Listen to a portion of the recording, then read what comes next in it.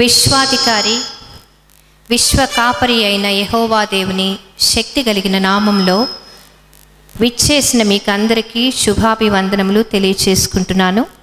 ఈ candle light service సందేశం కొరకు ఏర్పాటు చేయబడిన వారు డాక్టర్ ఏమా సజనీ థియోఫిలస్ గారు. వారిని వేదిక మీదకి రావాల్సిందిగా సవినయంగా మనవి చేసుకుంటున్నాను. మా ఇన్ఛార్జ్ పాస్టర్ గారు అయినటువంటి రెవరెండ్ సిహెచ్ అనిల్ కుమార్ని గారిని కూడా ఆహ్వానిస్తున్నాను. మా స్త్రీల సమాజ ప్రెషర్ గారైన ప్రభావతి పాల్ గారిని కూడా వేదిక మీదకి ఆహ్వానిస్తున్నాను.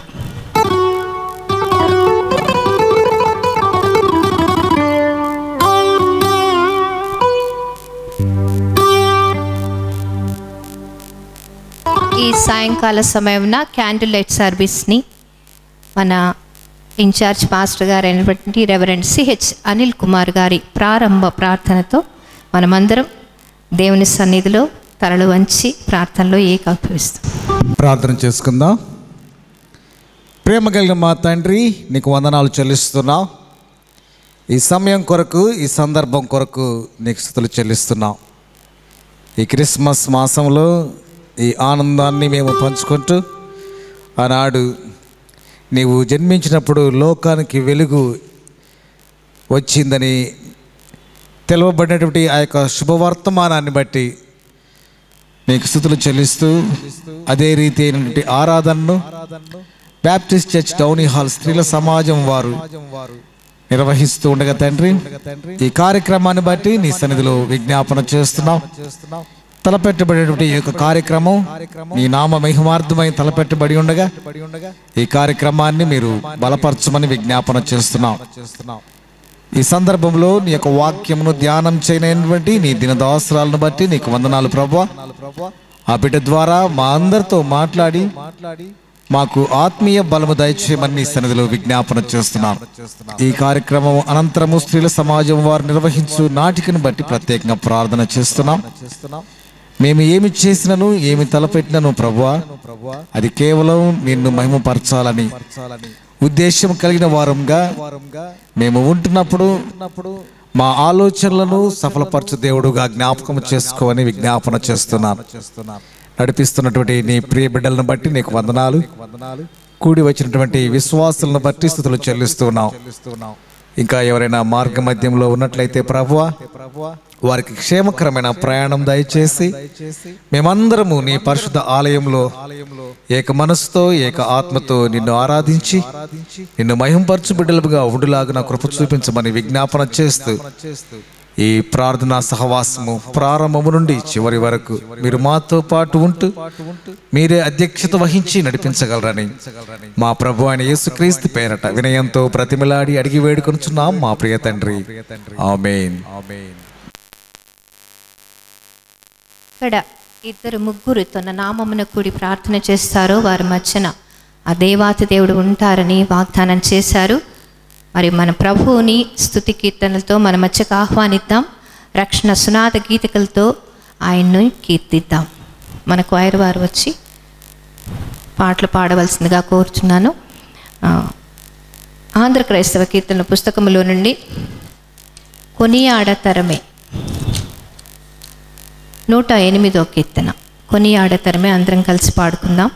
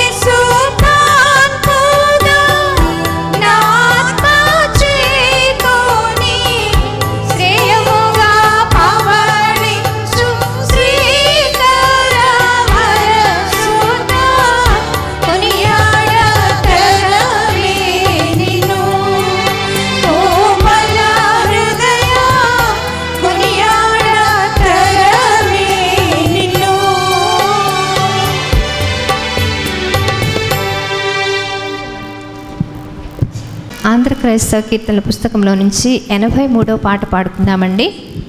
రారే మన యేసు స్వామిని.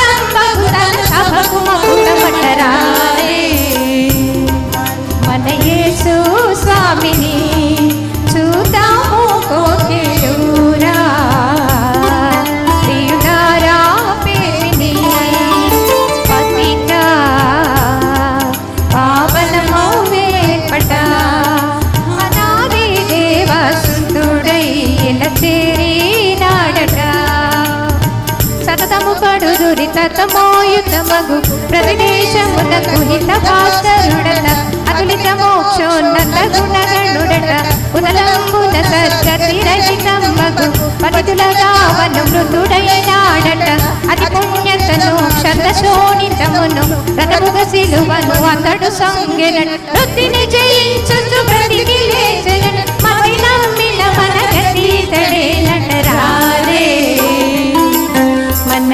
യേശു സ്വാമിനി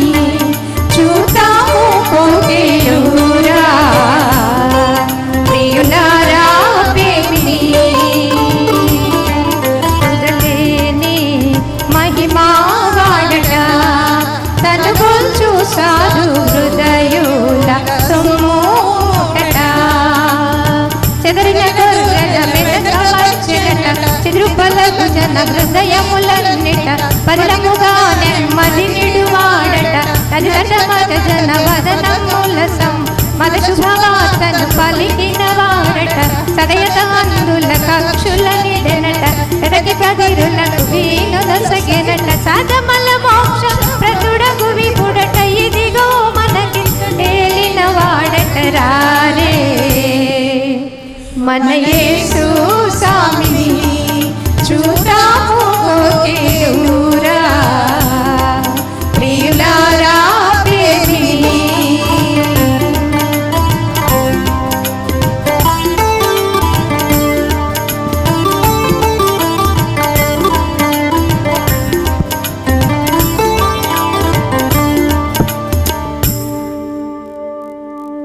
పరిశుద్ధ గ్రంథంలో నుంచి యషయా గ్రంథము అరవై అధ్యాయము ఒకటి నుంచి మూడు వరకు శ్రీమతి బి స్వర్ణలత గారు చదివి వినిపిస్తారు.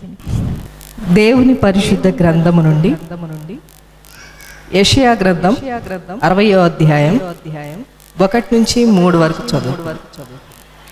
నీకు వెలుగు వచ్చి ఉన్నది లెమ్ము తేజరిలుము యహోవా మహిమ నీ మీద ఉదయించెను. చూడుము భూమిని చీకటి కమ్ముచున్నది. కటిక చీకటి జనములను కమ్ముచున్నది. యెహోవా నీ మీద ఉదయించుచున్నాడు. ఆయన మహిమ నీ మీద కనపడుచున్నది. జనములు నీ వెలుగునకు వచ్చేదరు. రాజులు నీ ఉదయకాంతికి వచ్చేదరు. దేవుడి పరిశుద్ధ వాక్యం దీవించునుగా ఆమె మన స్పీకర్ గారైనటువంటి డాక్టర్ హేమా సజనీ థియోఫిలస్ గారి కుమార్తె సింథియా బ్లెస్సీ వచ్చి ఇప్పుడు ప్రత్యేక గీతం పాడి వినిపిస్తుంది.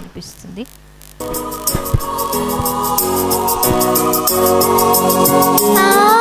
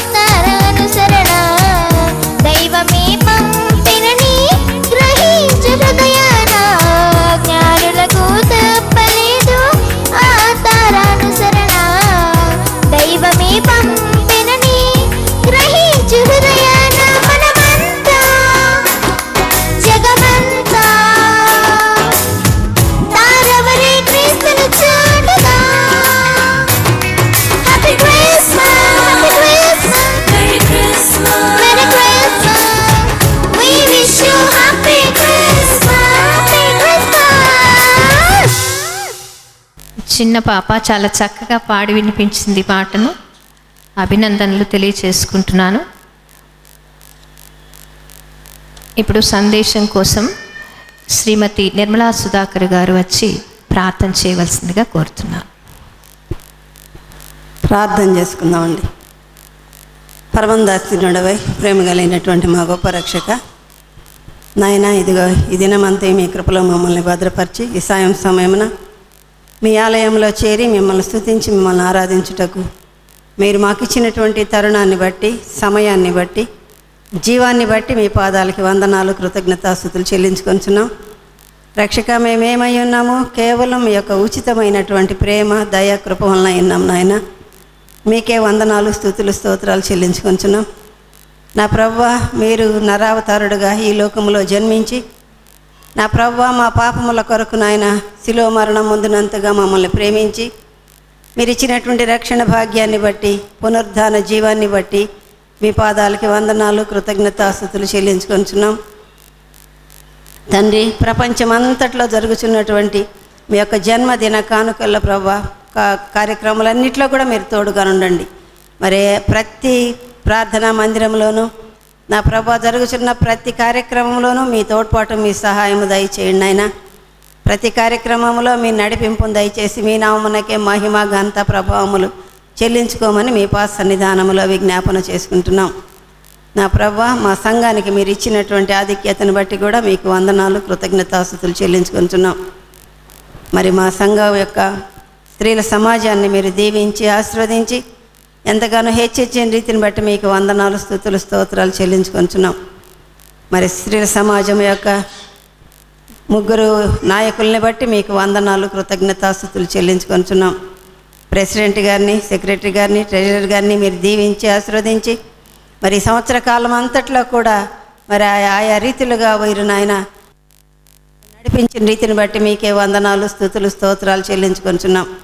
అన్ని కార్యక్రమంలో మీ తోడ్పాటు మీ సహాయం దయచేసి వారిని నడిపించిన రీతిని బట్టి మరొక మారు వందనాలు కొంచున్నాం ప్రభా నాయన మరి ఇదిగో నా ప్రభా ఈ సాయం సమయమున మేము ఇక్కడ కూడి ఉంటుండగా నా ప్రభా మరి పాపములో మునిగినటువంటి ఈ లోకమునకి గాఢాంధకారములో పాపములో మునిగినటువంటి నాయన మానవాళి కొరకు నాయన మీరు వెలుగుగా ఈ లోకానికి వచ్చి ప్రవ్వా మా జీవితాలను వెలిగించి తండ్రి మీకు యోగ్యులుగా మీరు నడిపించుతున్న రీతిని బట్టి మీకు వందనాలు కృతజ్ఞత స్తోత్రాలు చెల్లించుకొనిచున్నాం మా సంఘ కాండి మరి అనిల్ పాస్టర్ గారికి కావలసినటువంటి ఆయురారోగ్యాలు దయచేసి ఈ సంవత్సరం అంతట్లో వారి ఏడల మీరు చూపిన దయను బట్టి కృపను బట్టి నడిపించిన రీతిని బట్టి మీకు వందనాలు స్తోత్రాలు చెల్లించుకొనిచున్నాం మరి కుటుంబాన్ని బిడ్డల్ని దీవించి ఆశీర్వదించండి.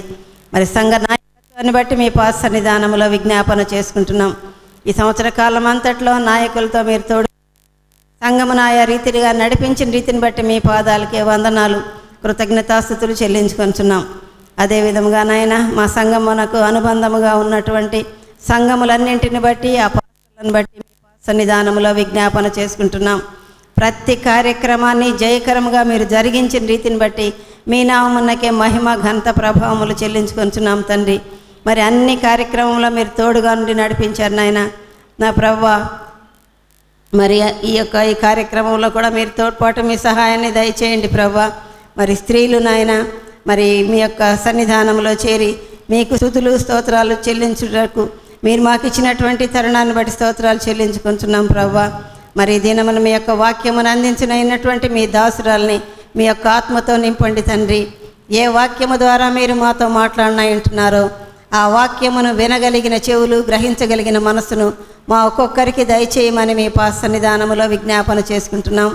మరి స్త్రీలు నాయన ఆయా విధముగా నా తండ్రి మరి డ్రామాలు వేయినాయంటుండగా ప్రభా వారికి తోడ్పాటు సహాయాన్ని దయచేయండి. నాయన వారు ఎంతో కష్టపడి తయారై అంటుండగా ప్రభా వారు ఒక్కొక్కరిని మీరు దీవించి ఆశీర్వదించండి.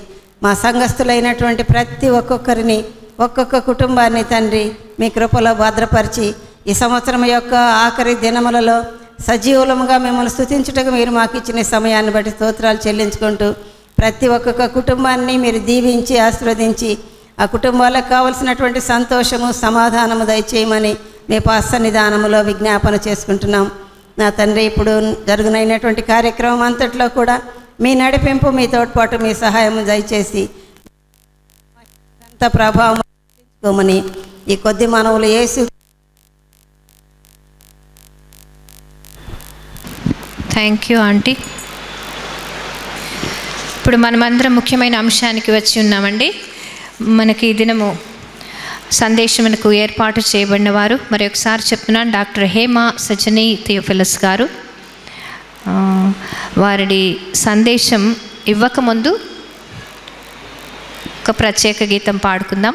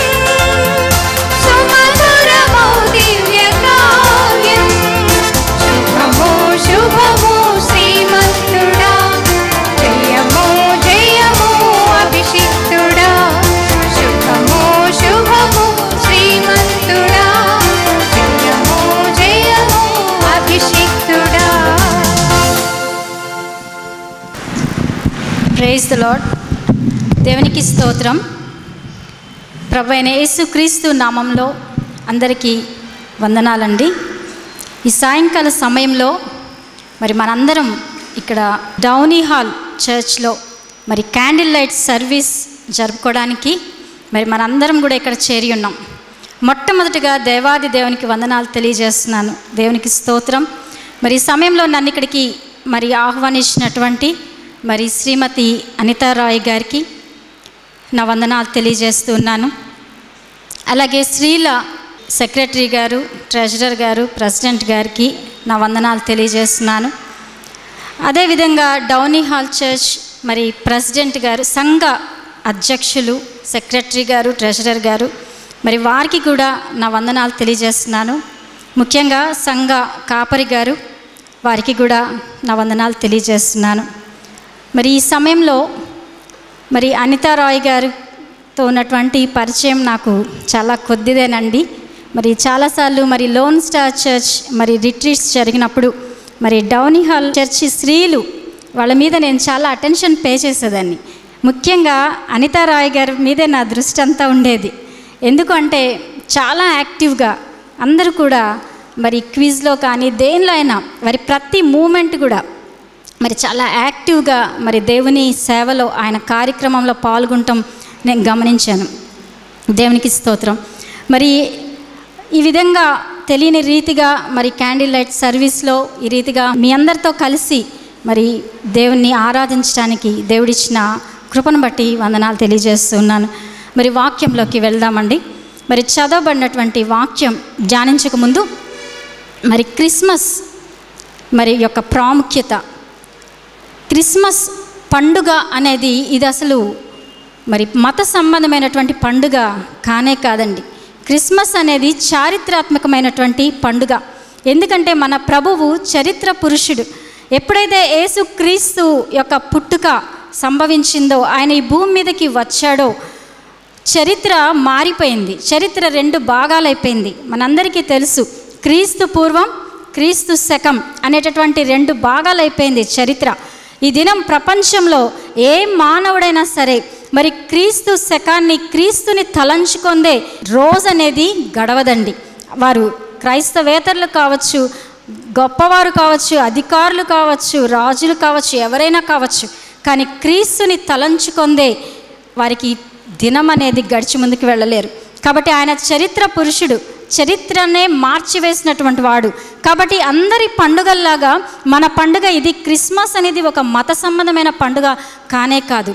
అయితే క్రీస్తు మరి ప్రభువుని గురించి మరి ముందుగానే ప్రవచనాలు కొన్ని వందల సంవత్సరాల క్రితమే ఆయన పుట్టకముందే మరి ప్రవచనాలు చెప్పబడ్డాయి. మరి పాత నిబంధన కాలంలో మనం చూస్తే ప్రతి అంశము కూడా పాత నిబంధన మనం ధ్యానిస్తున్నప్పుడు మరి ఆ విషయాలన్నీ కూడా ఒక్కొక్కటి ప్రతి సన్నివేశాన్ని మనం చూస్తే అక్కడ క్రీస్తు ముంగుర్తుగా ఉండటం మనం గమనిస్తాం. అనేకసార్లు దైవజనుల ద్వారా మనం వింటూ ఉంటాం. అయితే ఈ ఏషియా గ్రంథంలో మనం చదవబడినటువంటి వాక్యాన్ని మనం చూస్తే మరి ఏషియా క్రీస్తు పూర్వం ఏడు వందల సంవత్సరాల క్రితమే మరి ప్రవక్త ఇక్కడ ఈ ప్రవచనాన్ని ప్రవచిస్తున్నాడు. ఈ వాక్యం ఒక ప్రవచనం. అయితే కేవలం యష్యా ప్రవక్తే కాదు కానీ మరి ఎహెస్కేలు మరి ఇర్మియా మరి మీకా జకరియా అనేక మంది ప్రవక్తలు ఆయా కాలాల్లో వారి కాలాల్లో క్రీస్తు యొక్క పుట్టుక గురించి ఆయన పరిచర్య గురించి శిలువ మరణం గురించి పునరుద్ధానం గురించి ఆయన రెండవ రాకడ గురించి తర్వాత జరగబోయే ప వెయ్యేండ్ల పరిపాలన గురించి ప్రవచించడం మనం ప్రాముఖ్యంగా మరి ఈ ప్రవచన గ్రంథాల్లో మనం గమనిస్తుంటామండి. అయితే నేను ఈ దినం చెప్పుకోబోయే మన క్యాండిల్ లైట్ సర్వీస్ ఈ అంశానికి వెళ్ళకముందు ఒక్కసారి చదవబడినటువంటి వాక్యాన్ని ధ్యానం చేస్తూ నేను నా యొక్క అంశంలోకి నేను వెళ్తాను. ఈ ఈ చదవబడిన వాక్యాన్ని మనం ఒకసారి చదివితే నీకు వెలుగు వచ్చి ఉన్నది లెమ్ము తేజరిలుము ఎహోవా మహిమ నీ మీద ఉదయించిన. మొదటి వచనాన్ని మనం చూద్దాం. Arise shine for your light has come and the glory of the lord has risen upon you అని చెప్తున్నాడు. దేవుడు ఇక్కడ నీ మీదకు నీకు వెలుగు వచ్చినది లెమ్ము తేజరిల్లుము అని చెప్పబడిన ఈ ప్రవచనం మూడు విషయాలు ఇక్కడ గమనిద్దాం. ఈ ప్రవచనం ఎవరికి చెప్పబడింది? ఈ ప్రవచనం ఎలాంటి పరిస్థితుల్లో మరి ప్రవక్త చెప్తూ ఉన్నాడు? అయితే ఈ ప్రవచనం నెరవేరిందా? మనం ధ్యానిస్తున్నటువంటి వాక్య భాగం ఒకసారి పాత నిబంధన కాలాన్ని మనం జ్ఞాపకం చేసుకుందాం. అప్పటికి యేసుక్రీస్తు ఇంకా పుట్టలేదు. ప్రవక్త ఇజ్రాయెల్ ప్రజల మధ్య ఈ ప్రవచనాన్ని చెప్తూ ఉన్నాడు. అప్పటి ఇజ్రాయెల్ ప్రజల పరిస్థితి ఎలా ఉందంటే ఈ ప్రవక్త యష్యా ప్రవక్త ఉన్న కాలాన్ని కూడా ఒకసారి నేను చెప్తాను. ఆయన ఉజ్జియా యోతాము ఆహాజు హిస్కియా రాజుల కాలంలో ఉన్నాడు ఏషియా. అయితే ఆ కాలంలో ఉన్న రాజులు ఆ కాలంలో ఉన్నటువంటి యూదా ఎరుషులేం పట్టణ పరిస్థితులు ఎలా ఉన్నాయంటే భయంకరమైనటువంటి పాపంలో ప్రజలున్నారు. భయంకరమైనటువంటి మరి హేయమైన కృత్యాలు చేస్తున్నారు. బహు విగ్రహారాధనలో ఉన్నారండి. ఎందుకంటే ఆహాజురాజు కాలంలో ఆ రాజే ప్రేరేపించాడు ప్రజల్ని. భయంకరమైనటువంటి విగ్రహారాధనలో ఉన్నారు. మరి ఇటువంటి పరిస్థితుల్లో ప్రజలు ఉన్నప్పుడు ఈ వీళ్ళు ఇంకా కొంతకాలానికి బబులోను చెరకి దేవుడు అప్పగించబోతున్నాడు. ఆ చెరలో వాళ్ళు భయంకరమైనటువంటి శ్రమలను అనుభవించబోతున్నారు.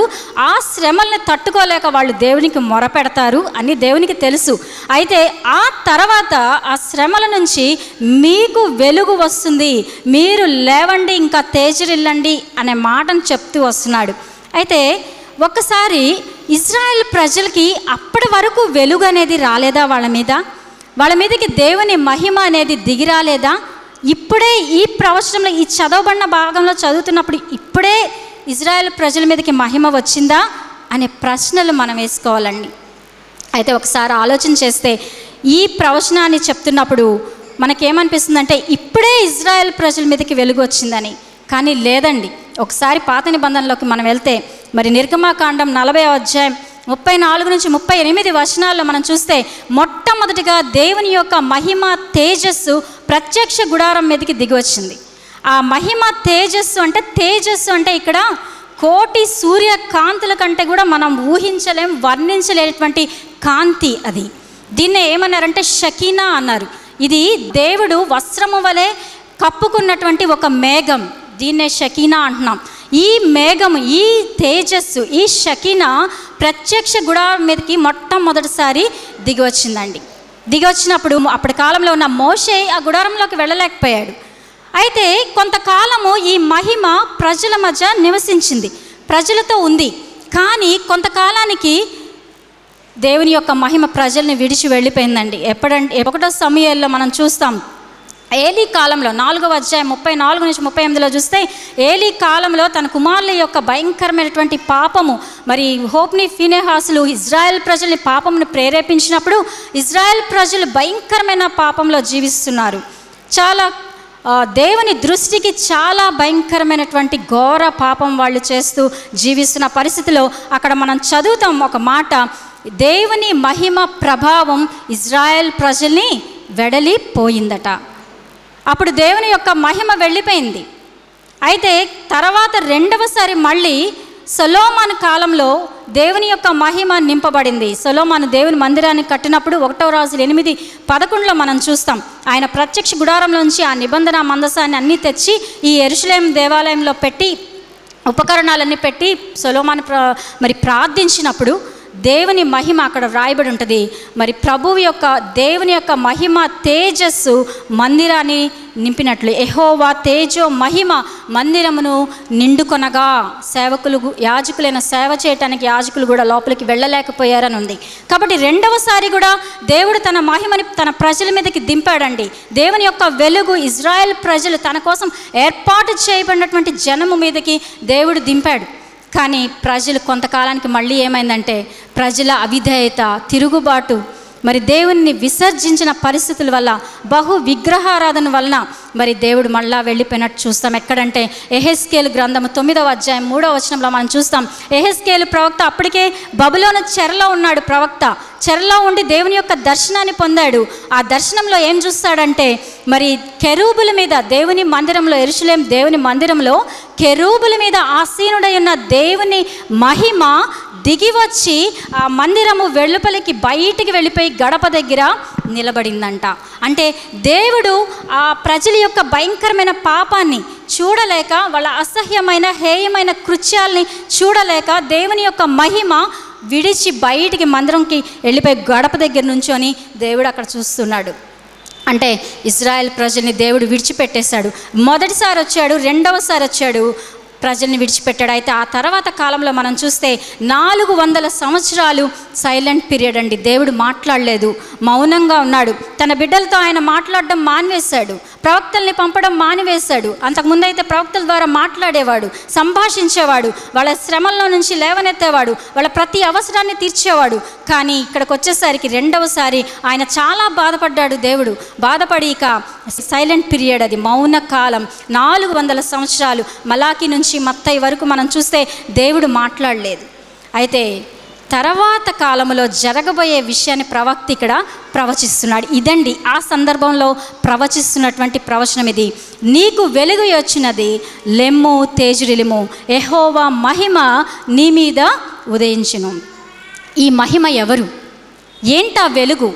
ఏ రూపంలో వస్తుంది? ఇంతకుముందు ఆయన మహిమే దిగొచ్చింది. షకీనా ఆయన మేఘమే షకీనా ఆ గ్లోరీ దిగొచ్చింది. కానీ ప్రజలు దాన్ని గుర్తించలేదు. ప్రజలు విచ్చలవిడిగానే జీవిస్తున్నారు. కానీ ఇప్పుడు ఈ మహిమ ఏ రూపంలో వచ్చింది? ఏ రూపంలో దిగొస్తుందని ప్రవక్త ప్రవచిస్తున్నాడంటే ప్రభు అయిన యేసు క్రీస్తు రూపంలో మరి ఈ మహిమ దిగొచ్చిందండి.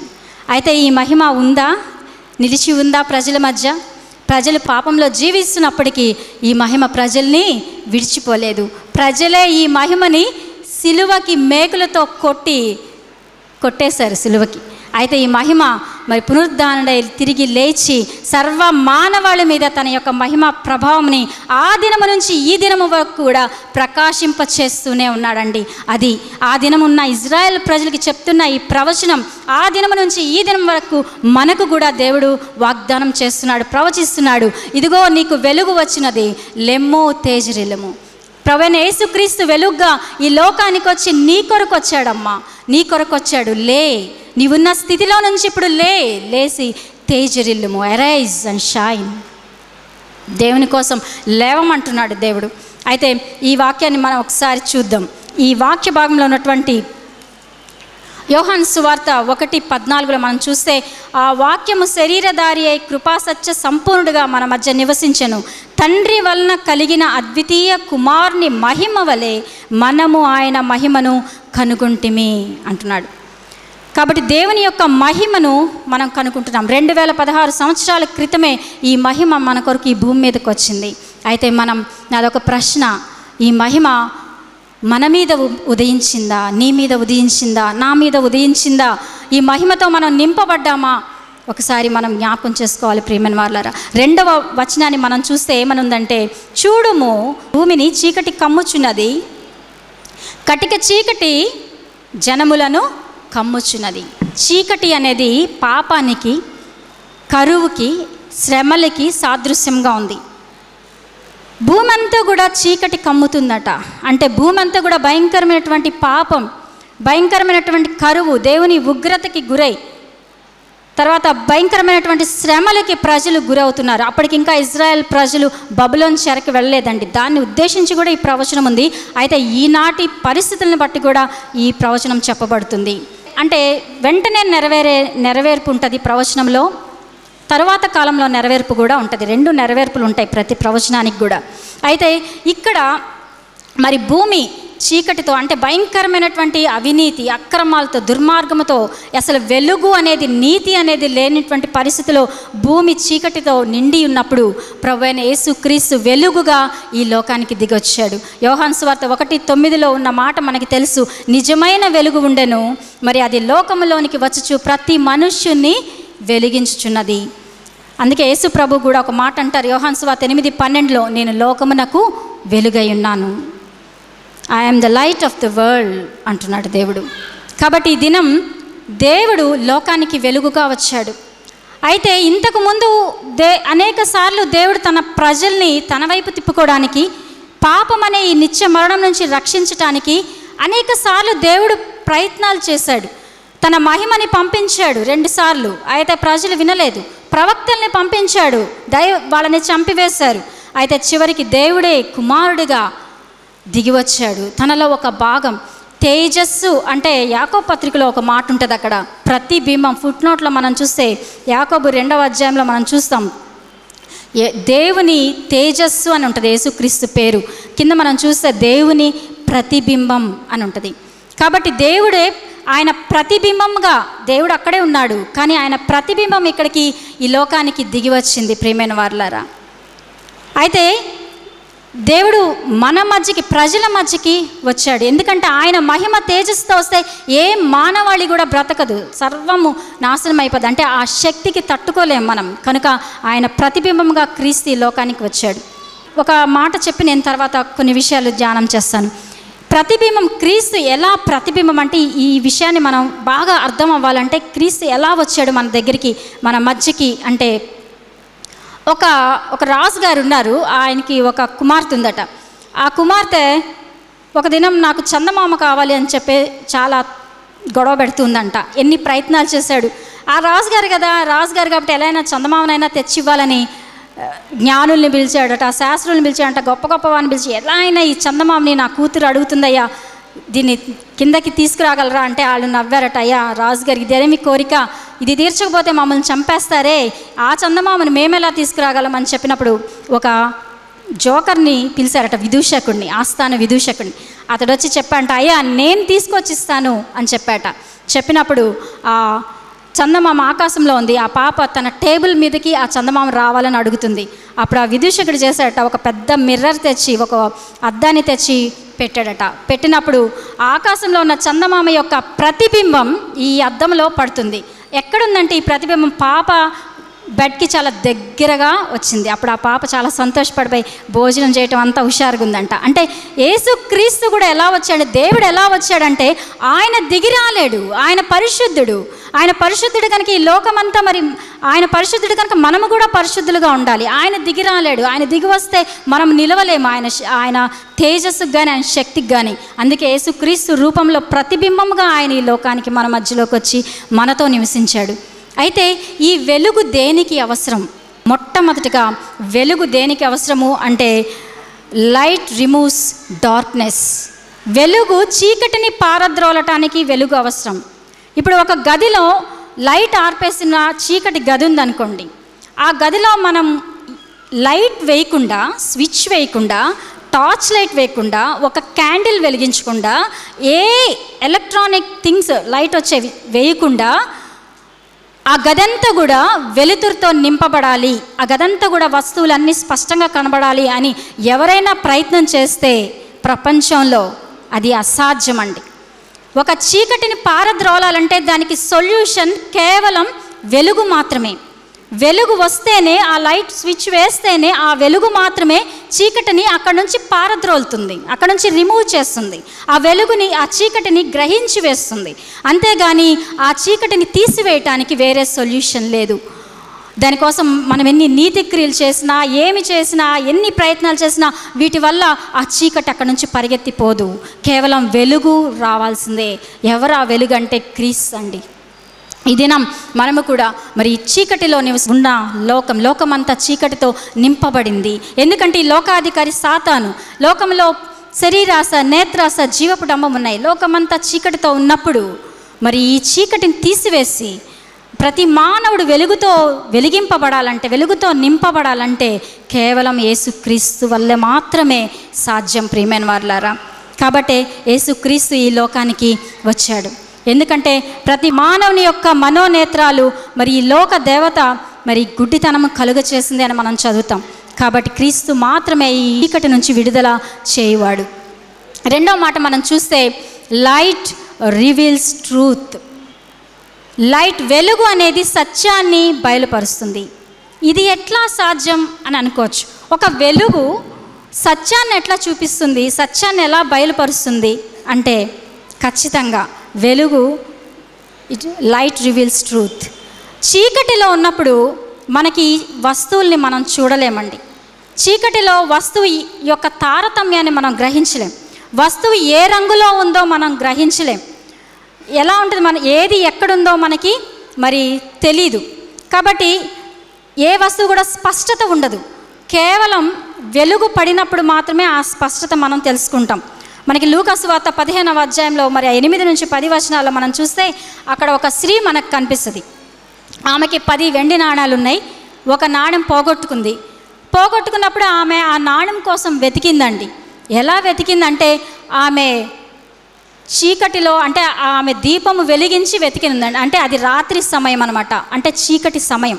మరి ఆ సమయంలో ఆమె ఆ చీకటిలోనే వెతకడానికి ప్రయత్నించలేదు. ఆమె చాలా జ్ఞానవంతురాలైన స్త్రీ. ఏం చేసిందంటే వెంటనే ఆమె దీపాన్ని వెలిగించింది. దీపాన్ని వెలిగించినప్పుడు మాత్రమే ఆమెకి ఆ పోగొట్టుకున్నటువంటి ఆ నాణ్యం ఆమెకి కనబడింది దొరికింది. దొరికినప్పుడు ఆమె ఎంతో సంతోషించింది. అందరినీ పిలిచి చెప్పింది సంతోషపడింది. అయితే ప్రియమైన దేవుని బిడ్డలారా ఈ దినం ఒకసారి జ్ఞాపకం చేసుకుందాం. మరి ఈ లోకంలో జీవిస్తున్న మనం మరి ఏం పోగొట్టుకుంటున్నాం? లోకంలో జీవిస్తున్న లోకంతో సంబంధం కలిగి లోకంలో జీవిస్తున్నప్పుడు ఖచ్చితంగా ఏ పోగొట్టుకుంటాం ఏదో ఒకటి పోగొట్టుకోవడం జరుగుతుంది. ఈ దినం నెమ్మది పోగొట్టుకున్నావా? సమాధానం పోగొట్టుకున్నావా? విశ్వాసాన్ని పోగొట్టుకున్నామా? లేకపోతే మన నిరీక్షణని పోగొట్టుకున్నామా?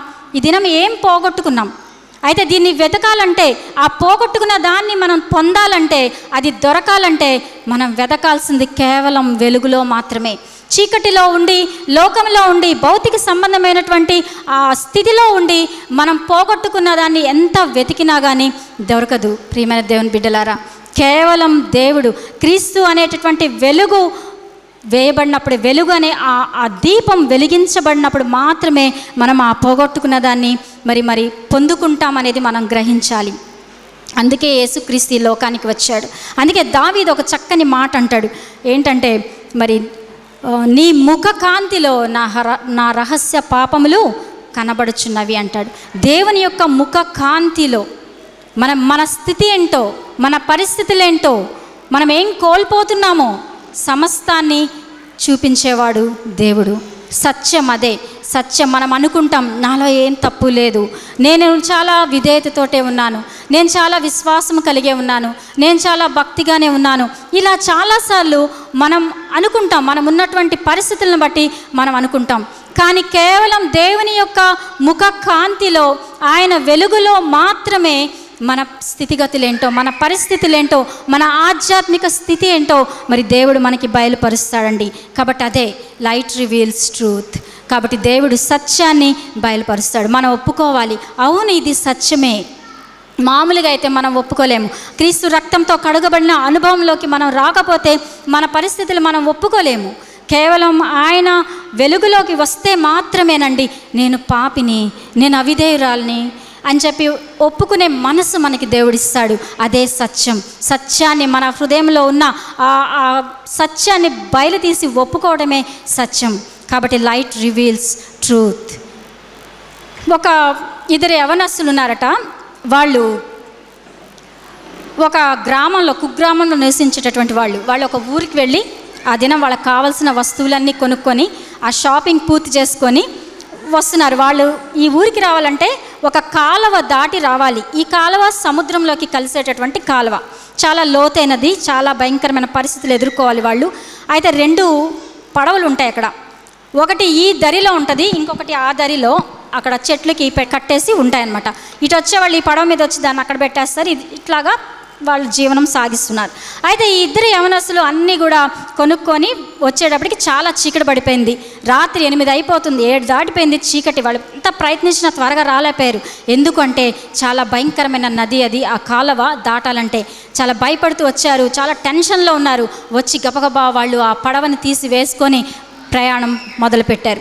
వెళ్తూ ఉన్నారు వెళ్తూ ఉన్నారు.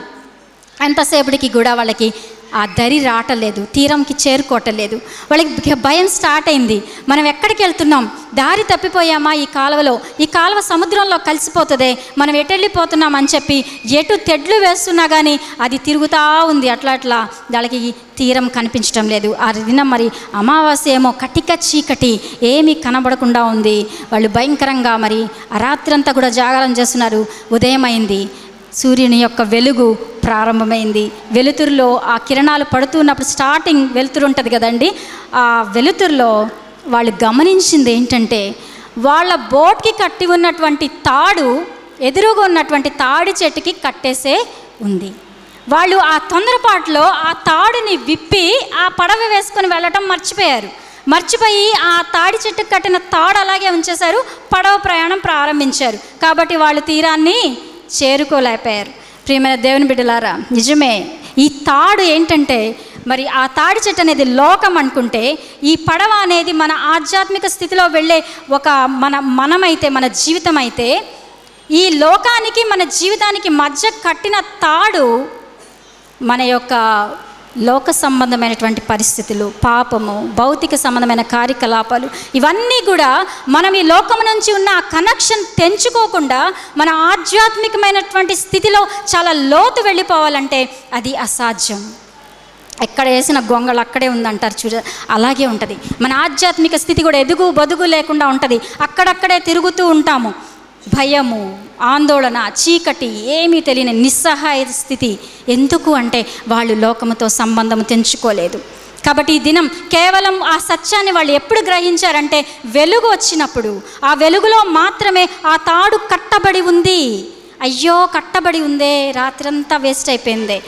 మనం కూడా అంతే చాలాసార్లు. క్రీస్తులోకి రానంత కాలం ఆయన వెలుగు మన మీద ఉదయించినంత కాలం మనం లోకముతో కట్టుబడి లోకపు పోకడల్లో జీవిస్తున్నంత కాలం మనం గ్రహించలేము. మన స్థితి ఏంటో గ్రహించలేము. మనం అనుకుంటాము చాలా బాగున్నాము. మనం మనం నడిచే త్రోవలు చాలా బాగున్నాయి. మన డెసిషన్స్ చాలా బాగున్నాయి. నేను తీసుకునే నిర్ణయాలు చాలా బాగున్నాయి. అంతా కరెక్ట్ అనుకుంటాం. సామెతల గ్రంథంలో ఒక మాట ఉంటుంది. ఒకనికి సరైనగా కనబడు మార్గము చివరికి మరణానికి దారితీస్తుందంట అయితే ఎప్పుడు ఈ సత్యాన్ని మనం గ్రహిస్తామంటే కేవలం వెలుగైన క్రీస్తు మన మీద ఉదయించినప్పుడు మన హృదయంలోకి వచ్చినప్పుడు మాత్రమే ఈ సత్యాన్ని మనం గ్రహించి సరి చేసుకోగలం దేవుని మీ ప్రియమైన బిడ్డలారా కాబట్టి ఒకటి లైట్ రిమూవ్స్ డార్క్నెస్. రెండవది లైట్ రివీల్స్ ట్రూత్. మూడవదిగా మనం చూస్తే మరి ఒక విషయాన్ని జ్ఞాపకం చేసుకుందాం. అయితే ఇక్కడ ఇంకొక మాటను కూడా నేను జ్ఞాపకం చేస్తాను. అయితే ఈ వెలుగు మన మీద ఉదయించాలంటే వెలుగైన క్రీస్తు మనలోకి రావాలంటే ఇది మనం మనంతట మనము ఈ వెలుగుని మనం తెచ్చుకోగలమా? ఈ వెలుగులోకి మనంతట మనము రాగలమా? ఎలాగ వెలిగింపబడతాము మనం? మనకి మనమే వెలిగింపబడగలమా? అంటే ఒక మాట చూద్దాం. దావీదు చెప్పినటువంటి మాట కీర్తన పద్దెనిమిదవ కీర్తన ఇరవై ఎనిమిదవ వచనంలో మరి దావీదు భక్తుడు అంటున్నాడు నా దీపము వెలిగించు వాడవు నీవే. చీకటిని నాకు వెలుగుగా చేయుము అంటున్నాడు. కాబట్టి మన దీపాన్ని వెలిగించేవాడు దేవుడే. నీ దీపం ఆ దీపం ఏంటో కూడా చూద్దాం. సామెతలు ఇరవై ఇరవై ఏళ్ళలో మనం చూస్తే నరుని ఆత్మ ఎహోవా పెట్టిన దీపము. కాబట్టి మన ఆత్మ అనే ఈ దీపాన్ని వెలిగించేవాడు దేవుడు మాత్రమే. మనం వెలిగించలేము అగ్గిపెట్టి పెట్టి గీసి వెలిగించేది కాదండి ఇది. కేవలం దేవుడు మాత్రమే ఈ దీపాన్ని వెలిగించాలి. కాబట్టి దేవుడు మాత్రమే మన చీకటిని వెలుగుగా మార్చేటటువంటి వాడు. కాబట్టి ఈ దినం ప్రియమైన దేవుని బిడ్డలారా జ్ఞాపకం చేసుకుందాం. మన దీపం వెలిగిందా? నరుని ఆత్మ ఎహోవా పెట్టిన దీపం. ఆత్మ అనేది ప్రతి మానవుడికి ఉంటుందండి. క్రైస్తవులేంటి క్రైస్తవేతరులేంటి లోకంలో పుట్టిన ప్రతి మానవుడు మనిషి అనేవాళ్ళు ప్రతి ఒక్కరికి ఆత్మ ఉంటుంది. ఆత్మ లేని వాళ్ళు ఎవరంటే జంతువులు పురుగులు ఇవన్నీ కూడా ఆత్మ లేవు. కానీ మానవుడికి ఆత్మ ఉంది. ఇక్కడ దేవుడు అంటున్న మాట నా దీపము వెలిగించు వాడవు నీవే. ఆత్మ ప్రతి ఒక్కరికి ఉంటుంది. కానీ క్రైస్తవ జీవితానికి ప్రాముఖ్యమైన విషయం ఏంటంటే ఆ ఆత్మ వెలిగింపబడిన ఆత్మగా ఉంటేనే నీవు నేను క్రైస్తవ బిడలమవుతాం. ఒకవేళ ఆ దీపము వెలిగించబడకపోతే మనం లోకస్తులమే అది దీపం అయితే అందరికీ పెట్టాడు దేవుడు. కానీ ఈ దీపం వెలిగించబడితేనే మనం క్రైస్తవులం. అయితే ఈ దినం మన ప్రశ్న ఏంటంటే ఈ దీపం వెలిగించబడిందా? క్రైస్తవులు మూడు రకాల క్రైస్తవ బిడల్ని మనం చూస్తుంటామండి. ఒకళ్ళు వెలిగించబడినటువంటి క్రైస్తవులు ఉంటారు. ఇంకొకరు వెలిగించబడి ఆరిపోయిన క్రైస్తవులు ఉంటారు. మూడవది అసలు వెలిగింపబడినటువంటి క్రైస్తవులు ఉంటారు. ఈ మూడు రకాల క్రైస్తవులు మన ప్రతి సంఘంలో సమాజంలో మనం చూస్తూ ఉంటాం. అయితే ఈ దినం ఏంటంటే వెలిగింపబడిన క్రైస్తవుడిగా ఉన్నావా? నువ్వు ఈ ముగ్గురులో ఎవరిగా మనం ఉన్నాం? నీవు నేను. ఒకసారి ఆలోచన చేసుకోవాలి.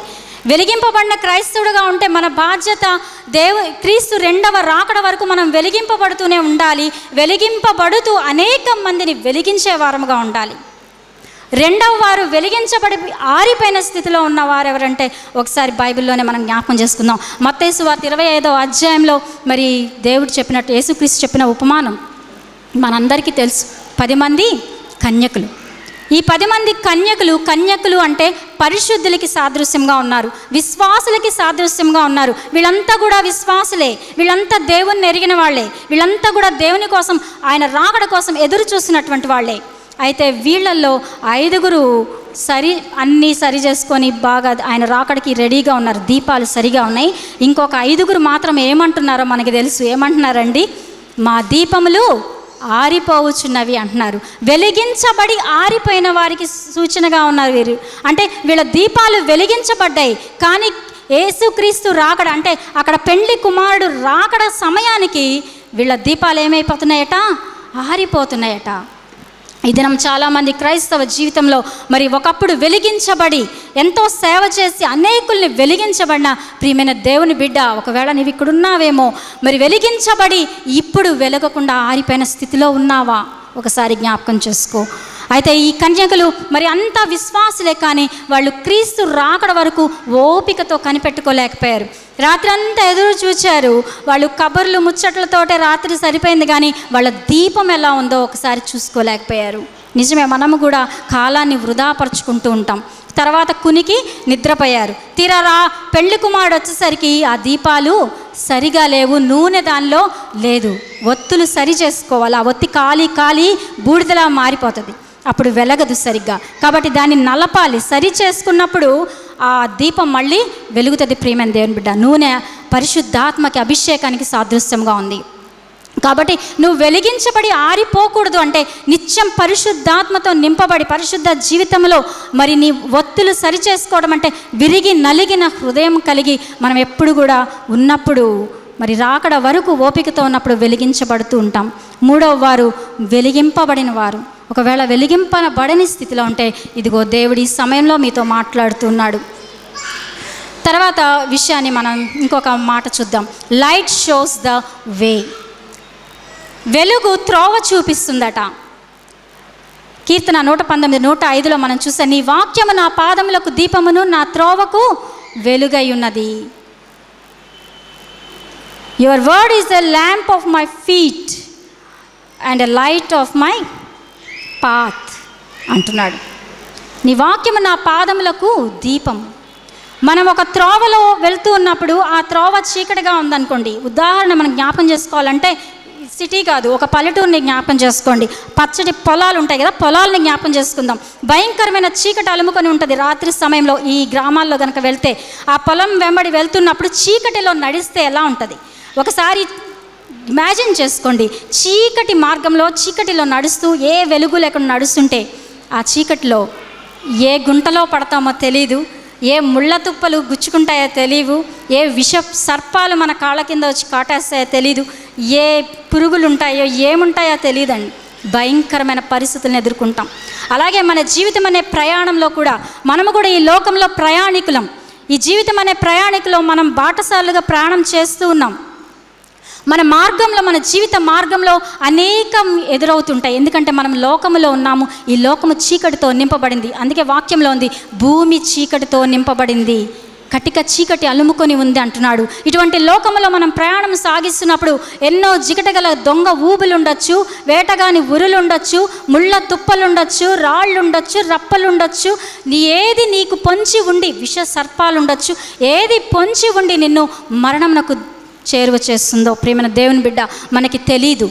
కాబట్టి ఖచ్చితంగా మనం ఈ లోకంలో ప్రయాణించాలంటే మన పాదములకు దీపం వాక్యం అనే దీపం. వాక్యం ఎవరంటే క్రీస్తు మనకి తెలిసి యోహాన్ సువార్త ఒకటవ అధ్యాయంలో దేవుని యొద్ద వాక్యం ఉండిన ఆ వాక్యము శరీరధారి అయి కృపా సత్య సంపూర్ణుడుగా మన మధ్యకి వచ్చాడు. ఆ వాక్యమైన క్రీస్తు ఆయనే వెలుగు. ఆ వాక్యాన్ని మనం సొంతం చేసుకుంటే ఆ వాక్యం మనల్ని త్రోవలో నడిపిస్తుంది. ఆ వాక్యం వాక్య ప్రకారముగా మనల్ని నడిపిస్తుంది. ఆ వాక్యం మనకి టార్చ్ లైట్ లాంటిది. కాబట్టి క్రీస్తు మనకి టార్చ్ లైట్ వెలుగులాగా ఉండి మనం మన జీవిత మార్గంలో ఎటు వెళ్ళాలో ఎటు వెళ్ళకూడదు ఏం అడ్డొస్తున్నాయో కొన్నిసార్లు పెద్ద లోయలు ఉండొచ్చు ఊబులు ఉండొచ్చు సాతానుడి యొక్క ఊబులు. దానిలో కాలు వేయకుండా దాటిపోవటానికి ఈ వాక్యం సహాయం చేస్తుంది ప్రేమైన దేవుని బిడ్డ. కాబట్టి వాక్యమైన క్రీస్తుని మనం ధరించాలి వాక్యంలో ఎదగాలి వాక్య ప్రకారం జీవించాలి. జీవించినప్పుడు ఖచ్చితంగా మన మార్గం లోకంలో జీవించినంత కాలము శ్రమలు ఎదురవుతాయి కష్టాలు ఎదురవుతాయి. కొన్నిసార్లు మరి శత్రువుల యొక్క కుయుక్తులు ఎదురవుతాయి. రకరకాలుగా నువ్వు సమ నువ్వు ఇబ్బందుల్లో పడాల్సిన పరిస్థితులు ఎదురవుతాయి. అంటే ఆపదలు పొంచి ఉంటాయి.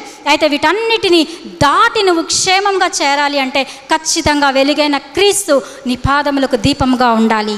పాదములకు దీపం అంటే పాదం అంటే పాతకాలంలో ఆ ఇజ్రాయెల్ ప్రజలు ఆ కాలంలో దీపాన్ని వాళ్ళు లైట్స్ని కాళ్ళకి కట్టుకునేవాళ్ళు. శరీరంలో చేతులు అంతా కూడా సామాను అవి ఇవి ఉండే. మనకిలాగా ఏమీ లేదు కదా వాళ్ళకి వెహికల్సే. పాదాలకు ఉండే అనమాట ఈ పాదాలు లైట్ చూపించింది. దాన్ని సాధు ఉపయోగించి కూడా రాయబడింది.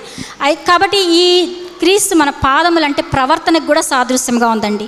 కాబట్టి వాక్యం క్రీస్తు మన ప్రవర్తన ఎలాంటి ప్రవర్తనలో మనం జీవించాలనేది ఈ వాక్యం మనల్ని సరిచేస్తుంది. ఇంకొక లాస్ట్ ఇంకొక మాట చెప్పి నేను ముగిస్తాను. లైట్ గివ్స్ ఎనర్జీ నాలుగో విషయం నాలుగు చెప్పాను. ఒకటి లైట్ రిమూవ్స్ డార్క్నెస్ రెండవది లైట్ రివీల్స్ ట్రూత్ తర్వాత లైట్ షోస్ ద వే తర్వాత లైట్ గివ్స్ ఎనర్జీ చాలామందికి అనిపించవచ్చు వెలుగు శక్తిని ఎలా ఇస్తుంది? ఇక్కడ సైన్స్ టీచర్స్ లెక్చరర్స్ సైన్స్ సంబంధించిన వాళ్ళు ఉంటే బాగా తెలుసండి కాన్సెప్ట్ సైన్స్ని మనం తీసుకొని నేను వాక్యం చెప్తాను. ఎందుకంటే సృష్టిలో ఉన్న ప్రతిదీ కూడా దేవుని మహిమను బయలుపరుస్తుంది. ఏ సబ్జెక్ట్ తీసుకోండి ఏది తీసుకోండి ఫిజిక్స్ కెమిస్ట్రీ బాటనీ జువాలజీ ఏదైనా తీసుకోండి చిన్న అణువు నుంచి పరమాణువు దాకా దానిలో సూత్రాన్ని తీస్తే అది దేవుని మహిమనే బయలుపరుస్తుంది ప్రియమైన దేవుని బిడ్డలారా. కాబట్టి ఇక్కడ వెలుగు శక్తిని ఎట్లా ఇస్తుంది? ఈ భూమి మీద ఉన్న సమస్త జీవకోటి సమస్త ప్రాణులు జీవిస్తున్నాయంటే కేవలం శక్తి ద్వారానే జీవిస్తున్నాయి. ఎక్కడి నుంచి వచ్చింది ఈ శక్తి అంటే సూర్యుని యొక్క కిరణాల నుంచి సూర్యరశ్మి నుంచి వచ్చే ఎనర్జీ ఆ శక్తిని మొక్కలు తీసుకొని ఆహారం తయారు చేసుకుంటే ఆ ఆహారాన్ని మనం తీసుకొని జంతువులు తీసుకొని ఆ శక్తి ప్రతి అణువు అణువులో కూడా ఆ వెలుగు నుంచి వచ్చిన శక్తే ఈ దినం భూమి మీద ఉంది ప్రేమైన దేవుని బిడ్డలారా. మరి దేవుడు సృష్టించిన సృష్టిలో ఉన్న సూర్యుడికే అంత శక్తి ఉన్నప్పుడు సమస్త మానవ కోటికి ఎనర్జీని ప్రొడ్యూస్ చేసే శక్తి ఉన్నప్పుడు ఆ సృష్టికర్తకి ఇంకెంత శక్తి ఉండాలి? మానవుడు ఈరోజు తయారు చేసిన ఆర్టిఫిషియల్ లేజర్ మనకి తెలుసు ఎక్స్రేస్ లేజర్ కిరణాలు అవి కళ్ళల్లో వేసి ఆ కిరణాల శక్తివంతమైన కాంతి పుంజం ఏం చేస్తుందంటే ఆ లోపల ఉన్న రెటీనాని లెన్స్ని చేంజ్ చేస్తుంది. మానవుడు తయారు చేసిన సృష్టించిన ఒక వస్తువుకే లెన్స్ని చేంజ్ చేసే శక్తి ఉంటే ప్రియమైన దేవుని బిడ్డ సర్వశక్తిమంతుడు ఆల్మైటీ గాడ్ ఆయనకి ఇంకెంత శక్తి ఉండాలి? ఒకసారి వాక్యాన్ని చూద్దామా? ఎఫ్ఎస్సి గ్రంథం ఐదు ఎనిమిది తొమ్మిది వచనాలు మనం చూస్తే మీరు పూర్వమందు చీకటయ్యి ఉంటిరి ఇప్పుడైతే ప్రభువునందు వెలుగై ఉన్నారు. వెలుగు ఫలము సమస్త విధములైన మంచితనము నీతి సత్యము వాటిలో కనబడుచున్నది. దేవుని యొక్క శక్తి వెలుగులో ఉన్న శక్తి చేసే పనేంటో తెలుసా? మంచితనము అనీతిమంతులు నీతిమంతులుగా మార్చే శక్తి ఉంది. చెడ్డవారిని మంచివారిగా మార్చే శక్తి ఉంది. దుర్మార్గులను నీతిమంతులుగా మార్చే శక్తి ఉంది. కాబట్టి దేవుని శక్తి చాలా గొప్పది. ఒకసారి సౌలు మనం జ్ఞాపకం చేసుకుని సౌలు అనే యువకుడు మరి యవనస్సుడు దమస్కు మార్గంలో వెళ్తూ ఉన్నాడు. భయ భయంకరంగా క్రైస్తవుల్ని చంపుతూ హింసిస్తూ ఆ మార్గంలో వెళ్తున్నప్పుడు అక్కడ రాబడిన మాట ఏంటంటే అపోస్తుల కార్యాలు తొమ్మిది మూడులో మనం చూస్తే అకస్మాత్తుగా ఆకాశం నుండి ఒక వెలుగు అతని చుట్టూ ప్రకాశించింది. ఆ వెలుగు ప్రకాశించగానే అతను పడిపోయాడు. పడిపోయినప్పుడు ఒక స్వరం దేవుని స్వరం విన్నాడు. అదంతా మనకి తెలుసుగా నేను వివరించను. అయితే అక్కడ జరిగినటువంటి కార్యం ఏంటంటే అతని భౌతిక నేత్రాలు గ్రుడ్డివయ్యాయి ఆత్మ నేత్రాలు తెరవబడ్డాయి. అది దేవుని యొక్క శక్తికి ఉన్న గొప్పతనం. భౌతిక నేత్రాలేమో గుడ్డివైపోయినాయి చూసిన మామూలు కళ్ళేమో చూపుపోయింది. కానీ ఆత్మ నేత్రాలు తెరవబడ్డాయి. ఎప్పుడైతే ఆత్మ నేత్రాలు తెరవబడ్డాయో దేవుడు సత్యవంతుడని తెలుసుకున్నాడు. దేవుడు ఆ, శక్తిమంతుడని తెలుసుకున్నాడు. ఆ సత్య మార్గంలోనే నడవటం ప్రారంభించాడు. అతని జీవితాన్ని మార్చివేసింది ఆ రోజు ఆ వెలుగు. కాబట్టి ప్రియమైన దేవుని బిడ్డ మరి దుర్మార్గంగా తిరుగు ఉన్న ఆ సౌలు తర్వాత తన జీవిత కాలమంతా దేవుని కోసం పరిగెత్తేవాడుగా మార్చింది. కాబట్టి వెలుగులో శక్తి ఉంది. పన్నెండు పద్దెనిమిదో కీర్తన పన్నెండులో కూడా దేవుని సన్నిధి కాంతిలో నుంచి మేఘములు వడగండ్లు నిపుణులు దాటిపోతాయి అంటున్నాడు. అంటే ఈ లోకంలో జీవిస్తున్నంతకాలం శ్రమలు వస్తాయి కష్టాలు వస్తాయి ఇబ్బందులు వస్తాయి. ఇవన్నీ కూడా ఆయన కాంతిలో నుంచి తొలగిపోతాయట. కాబట్టి ఈ దినం నువ్వు భయపడాల్సిన పని లేదు. క్యాండిల్ లైట్ సర్వీస్ జరుపుకుంటున్నటువంటి మనం మరి దేవుని యొక్క ఆ శక్తిని ఇవ్వటానికి దేవుడు మనల్ని అందరినీ ఇక్కడికి చేర్చాడు. అంతేకాదు చివరిగా జ్ఞాపకం చేసుకుందాం. ఎన్నో క్యాండిల్ లైట్ సర్వీస్ మీ జీవితంలో జరుపుకొని ఉండొచ్చు. అయితే ఎన్నోసార్లు ఇటువంటి వాక్యాలు వినుండొచ్చు. అయితే ప్రియమైన దేవుని బిడ్డ ఒక్క ప్రశ్న వేసుకొని వెళ్దాం మనం. ఈ దినం వెలిగింపబడిన దీపంగా ఉన్నావా? వెలిగి ఆరిపోయిన దీపంగా ఉన్నావా? ఇంకా వెలిగించబడలేదా? వెలిగింపబడితే అనేకుల్ని వెలిగించడానికి ముందుకి కొనసాగు. వెలిగిపోయి ఆరిపోయి ఉంటే ఇదే రక్ష సమయం. పశ్చాత్తాపంతో దేవుని సన్నిధికి రా. ఒకవేళ వెలిగించబడకుండా ఉంటే ఇదే సమయం అనుకూల సమయం రక్షణ దినం. ఈ సమయం దాటిపోతే మళ్ళా తిరిగి రాదు. కనుక ఈ క్యాండిల్ లైట్ సర్వీస్ నిజముగా మన జీవితంలో వెలుగుతో నింపబడి మనల్ని మరి ఆ వెలుగైన క్రీస్తు దగ్గరికి నిత్యత్వంలోకి నడిపించటకు కృప చూపునుగాక అదే రీతిగా ఈ డౌన్ హాల్ చర్చ్ మీ అందరి మీద మరి ఈ వెలుగు దేవుని యొక్క వెలుగు సదాకాలము నిలుచునుగాక దేవునికి స్తోత్రం. ఈ అవకాశం ఇచ్చినటువంటి మరి సిస్టర్ గారికి అనితారాయ్ రాయ్ గారికి అలాగే పాస్టర్ గారికి శ్రీల సంఘం కమిటీ వారికి చర్చ్ కమిటీ వారికి సంఘ సభ్యులందరికీ కూడా నా హృదయపూర్వక వందనాలు తెలియజేస్తున్నాను. థ్యాంక్ యూ క్రీస్తే లోకమునకు వెలుగు. వెలుగయ్యున్న క్రీస్తు పాపాంధకారం నుంచి మనకు విడుదలనిస్తారని సత్యాన్ని మనకు విశదపరుస్తారని మనకు సత్య మార్గాన్ని నిర్దేశిస్తారని మనకు బలమై ఉన్నది శక్తి అయి ఉన్నది వెలుగై ఉన్న క్రీస్తేనని చక్కగా అనర్ఘళంగా వివరించి బోధించిన డాక్టర్ హేమా సజనీ థియోఫలిస్ గారికి మా స్త్రీల సమాజం తరపున సంఘం తరపున కృతజ్ఞతలు తెలియచేసుకుంటున్నాం. ఇప్పుడు మనం స్కిట్ చూస్తామండి. ఒక్క నిమిషం. మా స్పీకర్ గారిని మేము ఆనర్ చేయాలి అనుకున్నప్పుడు సెక్రటరీ గారు అప్పటికి రాలేదు. అందుకే మా సెక్రటరీ గారైన గుర్ర అరుణ్ కుమార్ గారిని వేదిక మీదకి ఆహ్వానిస్తున్నాం. మాకు అన్నింటిలోనూ సహకరిస్తుంటాడు బిడ్డ. సెక్రటరీ గారు వచ్చి స్పీకర్ గారికి బొకే ఇవ్వాల్సింది కోరు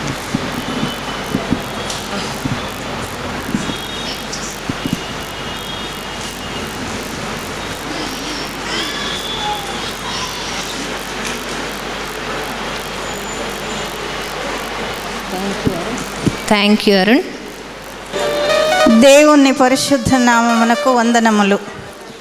క్రీస్తునందు ప్రియమైన సంఘస్థులారా ప్రభు నామమున మీకందరకు బ్యాప్టిస్ట్ చర్చ్ డౌనీ హాల్ పక్షాన క్రిస్మస్ శుభములు తెలియజేస్తున్నాము ఈ క్యాండిల్ లైట్ సందర్భంగా ఒక చిన్న నాటికను మా సంఘ స్త్రీల సమాజము వారు రూపకల్పన చేసి మీ ముందు ప్రదర్శించుటకు సిద్ధపడ్డారని చెప్పుటకు మేమెంతగానో సంతోషిస్తున్నాము అయితే ఒక చిన్న మనవి.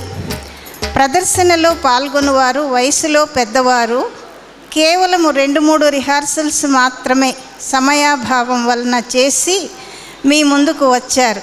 కనుక తప్పులున్న ఎడల వాటిని ఒప్పులుగా భావించి సహృదయముతో చూచి ఆనందిస్తారని ఆశిస్తున్నాం. ఈ నాటిక గురించి చిన్న పరిచయము వివరణ. ఇది జాగ్రత్తగా వింటేనే మీకు నాటిక అర్థమవుతుంది. మన జీవితాలు ఈ భూమి మీద తాత్కాలికము. మనకు మరొక శాశ్వతమైన లోకం ఉన్నది ఆ లోకంలో మనకు శాశ్వతమైన జీవితం ఉన్నది ఆ శాశ్వత లోకములో నిత్య జీవము పొందుటకు దేవుడు ఈ లోకములో జీవించు జీవితము ద్వారా మనకొక అవకాశం అనుగ్రహించాడు. మనమైతే ఇంకనూ ఇక్కడ జీవించి ఉన్నాము. అయితే మన పితరులు ఈ లోకము విడిచి మనకంటే ముందుగా వేరొక లోకానికి వెళ్ళారు. ఈ లోకములో దేవునికి అంగీకారమైన జీవితము జీవించి పాపక్షమాపణ పొంది సత్క్రియలు చేసిన వారు పరదైసుకు వారి ఆత్మలు చేరతాయి. కానీ సాతానుకు లోబడి పాపపు జీవితము జీవించిన వారు పాతాళానికి వెళతారు. అక్కడ వారు కలుసుకుంటారు. కొందరు పరదేశులో కొందరు పాతాళ లోకములో. అక్కడ ఆయా కాలాలలో చేరిన కొందరు ఒకరితోనొకరు ఏ విధంగా కలుసుకొని సంభాషిస్తారో మనము ఈ నాటికలో చూస్తాం. ఆత్మస్వరూపాలైనప్పటికీ మరి అందరికీ అర్థం కావడానికి వారి వారి స్వరూపాలతోనే మరి నాటకము ప్రారంభిస్తున్నాము. జాగ్రత్తగా గమనించండి. థ్యాంక్ యూ పరదేశులో దెబోరా ప్రవక్తి ప్రవేశం.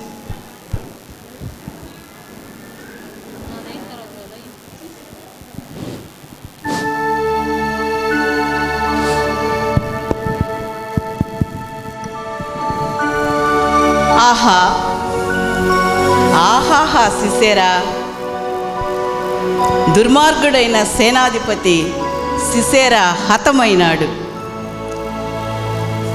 యెహోవా దేవుని ప్రజలను బాధించిన సిసేరా మరణించినాడు. ఇస్రాయేల్ దేవునికి ఎదురు నిలిచి ఎవరు గెలవగలరు? ఆహా!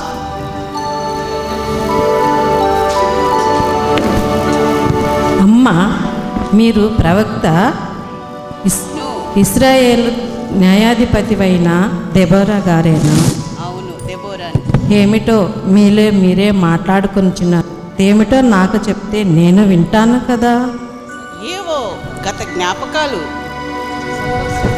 గుడారాలలో నివసించే సామాన్య స్త్రీ అయిన యాయేలు చేతిలో దుష్టుడైన సిసేరా హతమైనాడు.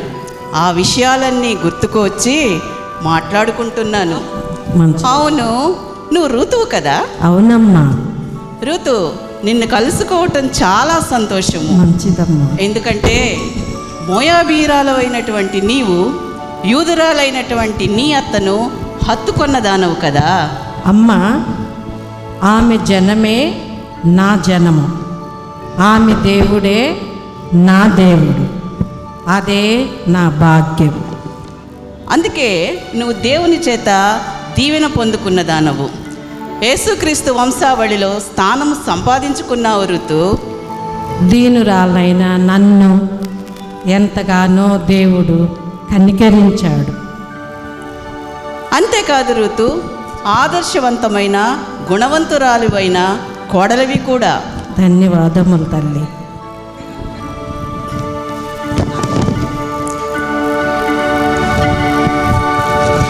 అమ్మ వీరు ఎవరు ఆ వచ్చుచున్నది ఎస్తేరు రాణి. అమ్మా మీరు? నేను దెబోరా ఈమె ఋతు మా డెబోరా మీరు ఒక ప్రవక్తిగా ఇస్రాయేలీలకు న్యాయాధిపతిరాలిగా అందించిన సేవలు గణనీయము. అది ఆ యహోవా దేవుని ఏర్పాటు రాణి. అమ్మ రూతు మీ వినయము విధేయత ప్రశంసనీయము. ధన్యురాలు రాణి.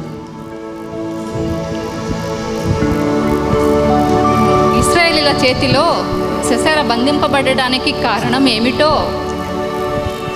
సైన్యములకు అధిపతి అయిన ఆ యహోవా దేవుని ఆరాధించుట మర్చి ఇస్రాయేలు ప్రజలందరూ అన్యదేవతలను ఆరాధించుటకు ఇష్టపడ్డారు.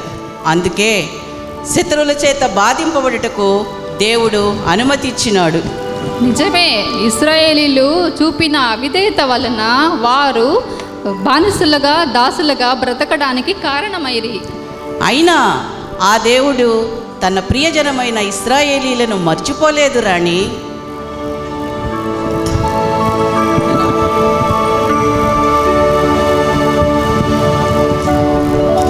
అమ్మా మీ అందరికీ ఆ యెహోవా దేవుని నామమున ప్రణామములు. అమ్మ.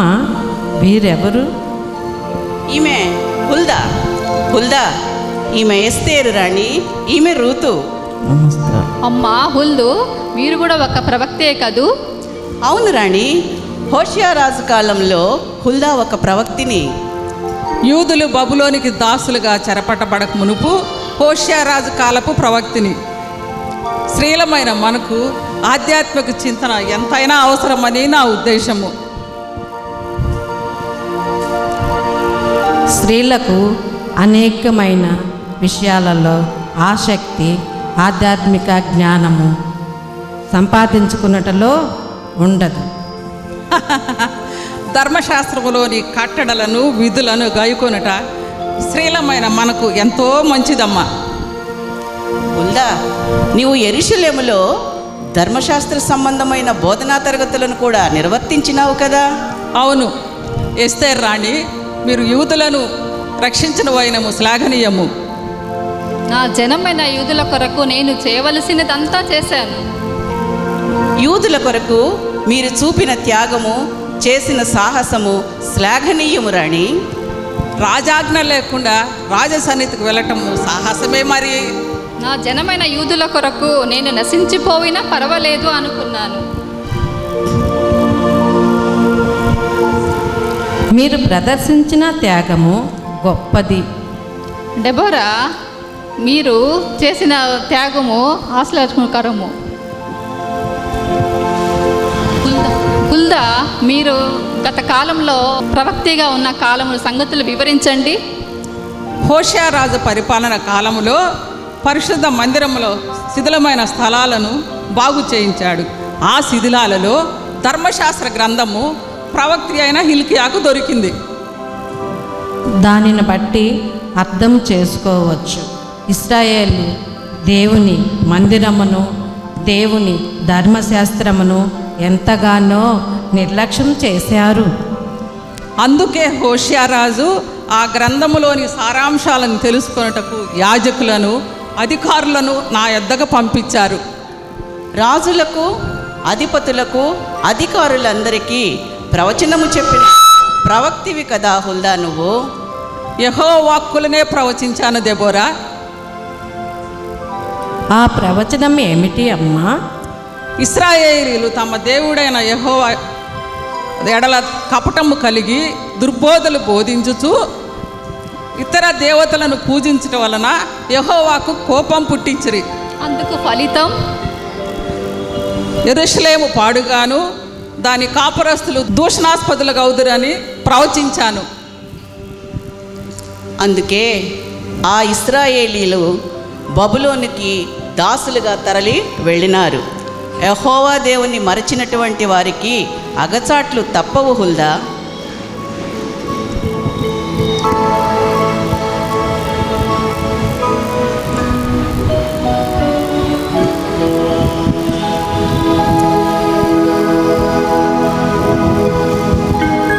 అమ్మ వీరెవరు?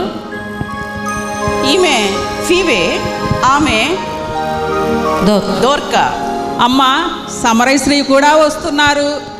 అమ్మ వీరిని ఎలా గుర్తించగలరు? లోకరక్షకుడైన యేసయ్య జన్మించక ముందు మనము యెహోవా సేవలో పాల్గొన్నాము.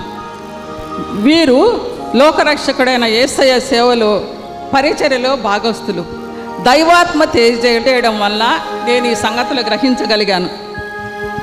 ఈ సమరయ స్త్రీ లోకరక్షకుడైన మెస్సియాను ఆమె గ్రామమంతా ప్రచారం చేసినటువంటి వనిత. ఆ మెస్సయ్యను కనులారా చూసిన దాన్నమ్మా. ఆయనే నిత్య జీవ జలనిధి. ఆ పరమతండ్రిని ఆరాధించువారు ఆత్మతోనూ సత్యముతోనూ ఆరాధించవలనని తెలుసుకున్నాను. అవునమ్మా ఆ మెస్సయ్యను కనులారా చూశావు. రక్షణ భాగ్యాన్ని అందుకున్నావు. అంతేకాదు లోకరక్షకుడిని ఈ నీ పట్టణవాసులందరికీ పరిచయం చేసిన దూతం. డోర్కా చెప్పినది నిజమే. నీతి మార్గం అనుసరించి నడుచున్నట్లు ఎవరు అనేకులను దేవుని వైపు తిప్పుదరో వారు నక్షత్రం వలె నిరంతరము జ్యోతుల్లా ప్రకాశిస్తారు. ఫీబే ఒక సంఘ పరిచారికగా పరిశుద్ధులందరికీ నీవు చేసిన సేవలు అందరికీ ఆదర్శం. పౌలు భక్తులకు మరియు పరిశుద్ధులకు సహాయకరంగా ఉండటము నా అదృష్టము. ఇది దేవుడు నాకు అనుగ్రహించిన గొప్ప భాగ్యం అవును. సామాన్యమైన స్త్రీలు మేము గొప్ప కార్యములు చేయలేకపోతున్నామే అని చింతపడిన అవసరం లేదు. దేవుని పరిచర్యలో మనము ఏ పని కొరకు ఏర్పరచబడ్డామో తెలుసుకొనటం ముఖ్యము. దేవుడు మనకు ఏర్పరిచిన పని నమ్మకంగాను యథార్థంగాను చేసినలా దేవుని దయకు పాత్రలు కాగలము. సంగములలో స్త్రీలు సహాయకారులుగా ఉండడమే కాదు సమాజంలో కూడా ధర్మకార్యాలు చేయాలి సత్క్రియలతో అలంకరింపబడాలి.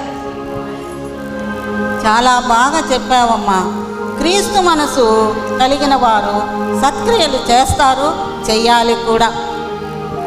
ఆ విధంగా చేసిన వారు సమాజంలో ఆ ప్రభుని ప్రతిబింబజేస్తాము ప్రకాశింపజేస్తాము. అమ్మా దొరక ఎప్పేలో నువ్వు చేసినటువంటి ధర్మకార్యాలు ఎన్నో. స్త్రీలందరిలో నీవు నీ ఒక్కరివే శిష్యురాలని పిలువబడినావు. అది ఆ ప్రభువు నాకిచ్చిన పరిచర్య. ఇక నేను శిష్యురాలను అని అనిపించుకోవడము ఆ ప్రభువు నాకు ఇచ్చిన కృప.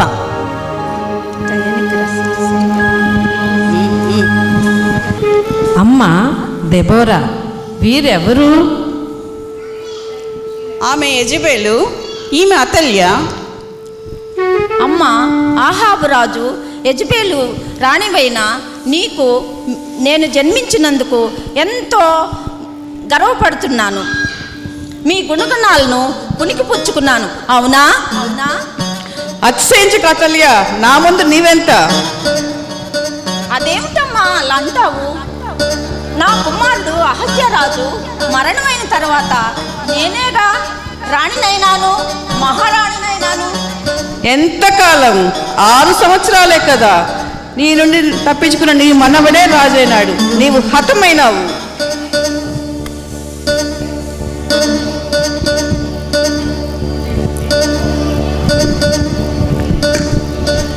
పోనీలే. యజబెలు అతల్య కూడా ఖడ్గముతోనే హతము గావించబడినది. మీ గురించిన కథ ఎవరికి తెలియదు?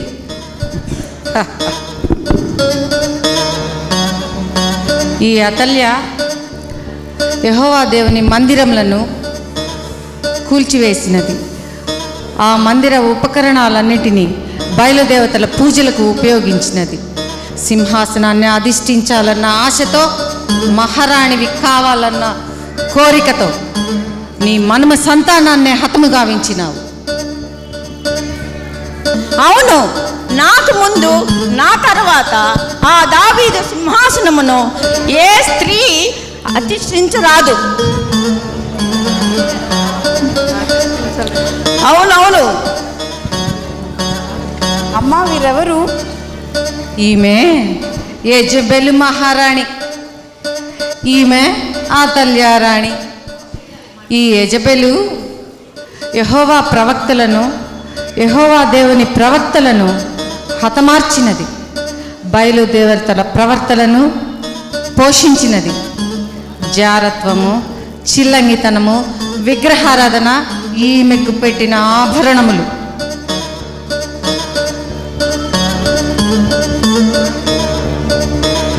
నా గురించిన సమాచారం బాగానే రాబట్టేవే హెరోదియా. నీ గురించి ఏం చెప్పగలను? నా బోతు ద్రాక్ష తోటలను ఆక్రమించుకొనుటకు ఉపవాస దినాన్ని ప్రకటించినావు. ధర్మశాస్త్ర నిబంధనలను ఆధారంగా చేసుకొని అబద్ధ ప్రవక్తలను సృష్టించి నాబోతుని రాళ్ళతో కొట్టించి చంపించినావు. పశ్చాత్తాపపడడం నీకు ఇష్టం లేని పని.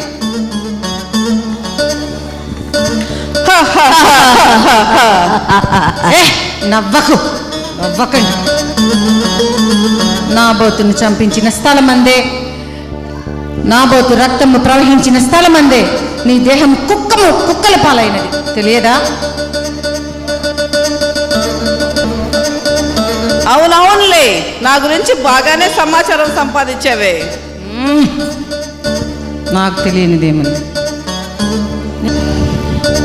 హేరోదియా యజ్బేలు చరిత్ర గురించి బహు చక్కగా చెప్పావే. నీ చరిత్ర సంగతి ఏమిటి నీకు తెలుసా? యోహాను బాప్తిస్మిచ్చి యోహాన్ని చంపించావు కదా అవునా?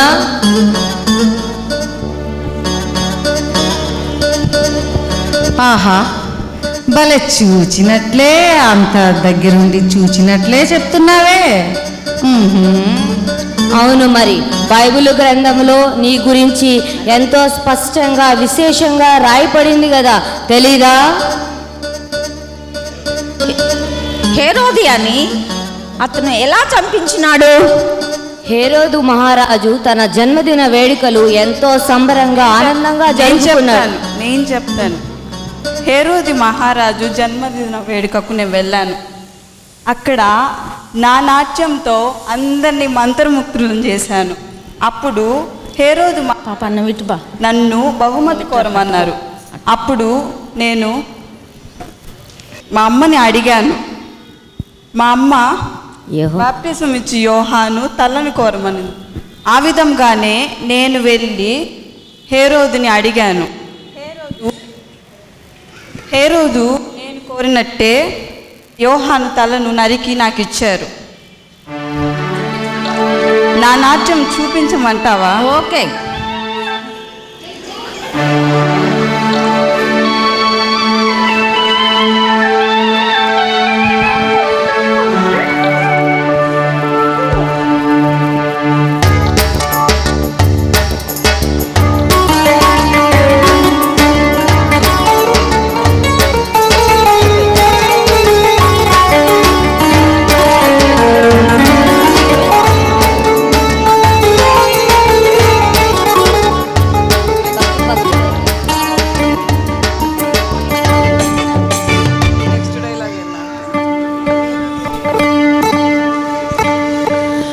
నాకిప్పుడు అర్థమైంది. ఈ హేరోదియా యోహాన్ తలను యుక్తిగా చంపించి వేసింది.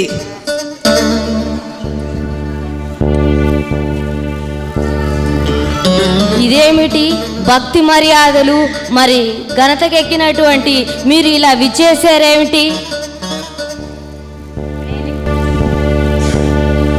నేను ఇక్కడికి ఎలా వచ్చాను? చెప్పుమా సంఘమా? నాకు తెలుసులే ఆ సమయంలో పౌలు బర్నబాలు మీ ప్రాంతమునకు వచ్చి దేవుని వాక్యమును ప్రకటించారు కదా ఆ విషయం గుర్తులేదా? ఆ వారు భూదిగంతములకు రక్షణార్థముగా ఉన్నారని వారిని ప్రభువు అన్యజనులకు వెలుగుగా ఉంచి ఉన్నారని విన్నాము. మరి వినిన దానివి అర్థం చేసుకున్న దానివి నువ్వు దేవుని వాక్యముని ఎందుకు అర్థం చేసుకోలేకపోయావు చెప్పు. ఆ యూదామత ప్రవిష్టులు పౌలు మాటలను వినవద్దన్నారు. యూదులకు రాజైన రాజు దీనాతి దినంగా పశువుల పాకలో జన్మించటం ఒక కట్టుకథ అన్నారు. ఆయన పాపుల కోసం శిలువపై మరణించటం నిజం కాదన్నారు. మరి ఇంకేమన్నారు చెప్పు. అసలు పునరుద్ధానమే లేదన్నారు. అందుకే మేము సమాజంలో కొందరు ప్రముఖులము కలిసి వారిని పౌలు బర్నబాలను హింసించాము. అప్పుడు పౌలు బర్నబాలు మీ ప్రాంతంకు వచ్చి వారి పాదధూళిని మీ వైపు దిలిపి వెళ్ళిపోయినారు. అందుకే మీరు ఈ ప్రాంతంలోకి వచ్చి ఉన్నారు. అయితే యూదులు ఎందుకు అలా చెప్పారు? యూదులకు ప్రభు అంటే ఎంతో అసూయ. ఆ దినములలో ప్రభువు వాక్యము ప్రపంచమంతా ప్రబలమై వ్యాపించింది. ఆ విషయము యూదులు తట్టుకోలేక వారి గొప్పలకు మర్యాదలకు అధికారాలకు ఎక్కడ ముప్పు వాటిల్లుతుందో అని భయపడి ఆ విధంగా మీకు చెప్పారు. అయ్యో ఈ ప్రదేశము చాలా భయంకరముగా ఉన్నదే. ఇది చాలా శాపగ్రస్తమైన స్థలముగా ఉన్నదే. మేమైతే పౌలు బర్ణబాలను హింసించి ఇక్కడకు చేరాము. మీరు అన్ని విషయములు ఇంత చక్కగా చెప్పి ఎందుకు ఇక్కడ ఉన్నారు? అయ్యో అవును కదా. ఎందుకున్నాను ఇక్కడ? ఈ ప్రాంతంలో నేను ఎందుకు చేరి ఉన్నాను? నాకు అర్థం కావడం లేదే.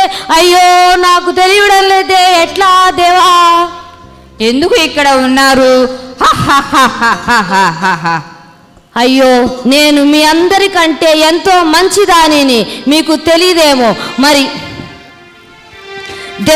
లాగా నేను ఎన్నో గొప్ప కార్యక్రమాలు ఉజ్జీవ సభలు ఏర్పాటు చేయించాను. మరి హుల్దా వలె దేవుని న్యాయవిధులను నేను అందరికీ బోధించాను. అయినను నేను ఈ ప్రాంతంకి వచ్చి ఉన్నానే? ఏంటో మరి నాకు అర్థం కావడం లేదు. సమరయ స్త్రీలాగా నేను క్రీస్తు గురించి అన్యులకి ఎంతో బోధించాను కదా. అయినప్పటికీ నేను ఈ ప్రాంతంలోకి వచ్చి ఉన్నానేమిటి? అయ్యో నాకు అర్థం కావడం లేదే. దేవుడా అంతా అయిపోయింది. నేను సర్వనాశనం అయిపోయాను తండ్రి. అయినా దేవా నేనంతా నాశనం అయిపోయాను. నేను ఎంతో మంది దెయ్యాలు పట్టిన వారిని దెయ్యాలను విడిపించేనే. మరి అటువంటి నాకే నేను ఈ యొక్క దయ్యాల కూపంలో పడి ఉన్నానే. ఏం నా పరిస్థితి ఏమిటి? నాకే అర్థం కావడం లేదు. మరి ఏం చేయాలి ఇప్పుడు? ఇప్పుడు ఏం చేయాలి దేవుడా? నన్ను రక్షించు.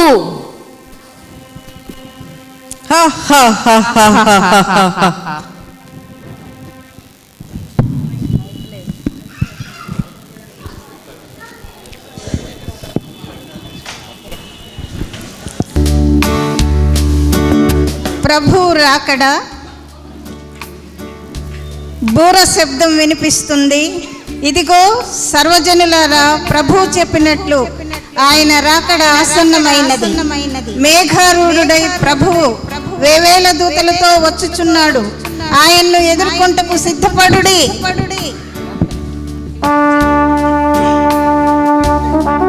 అయ్యో మా అన్నయ్యడి అయ్యో మా వారేది ఎక్కడ కనిపించడం లేదే అయ్యో పూల శబ్దం వినిపిస్తుంది. ఎవరు కనపడటం లేదే?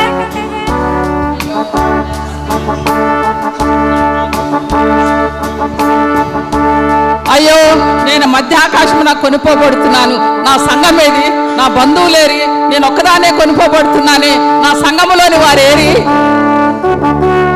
ఆర్భాటముతోనూ ప్రధాన దూత శబ్దముతోనూ దేవుని బూరతోనూ పరలోకము నుండి ప్రభువు దిగి వచ్చుచున్నారు. అదిగో క్రీస్తు నందుండి మృతులైన వారు క్రీస్తులో నిలిచి ఉన్నవారు సజీవులు ఆయనను ఎదుర్కొరుచున్నారు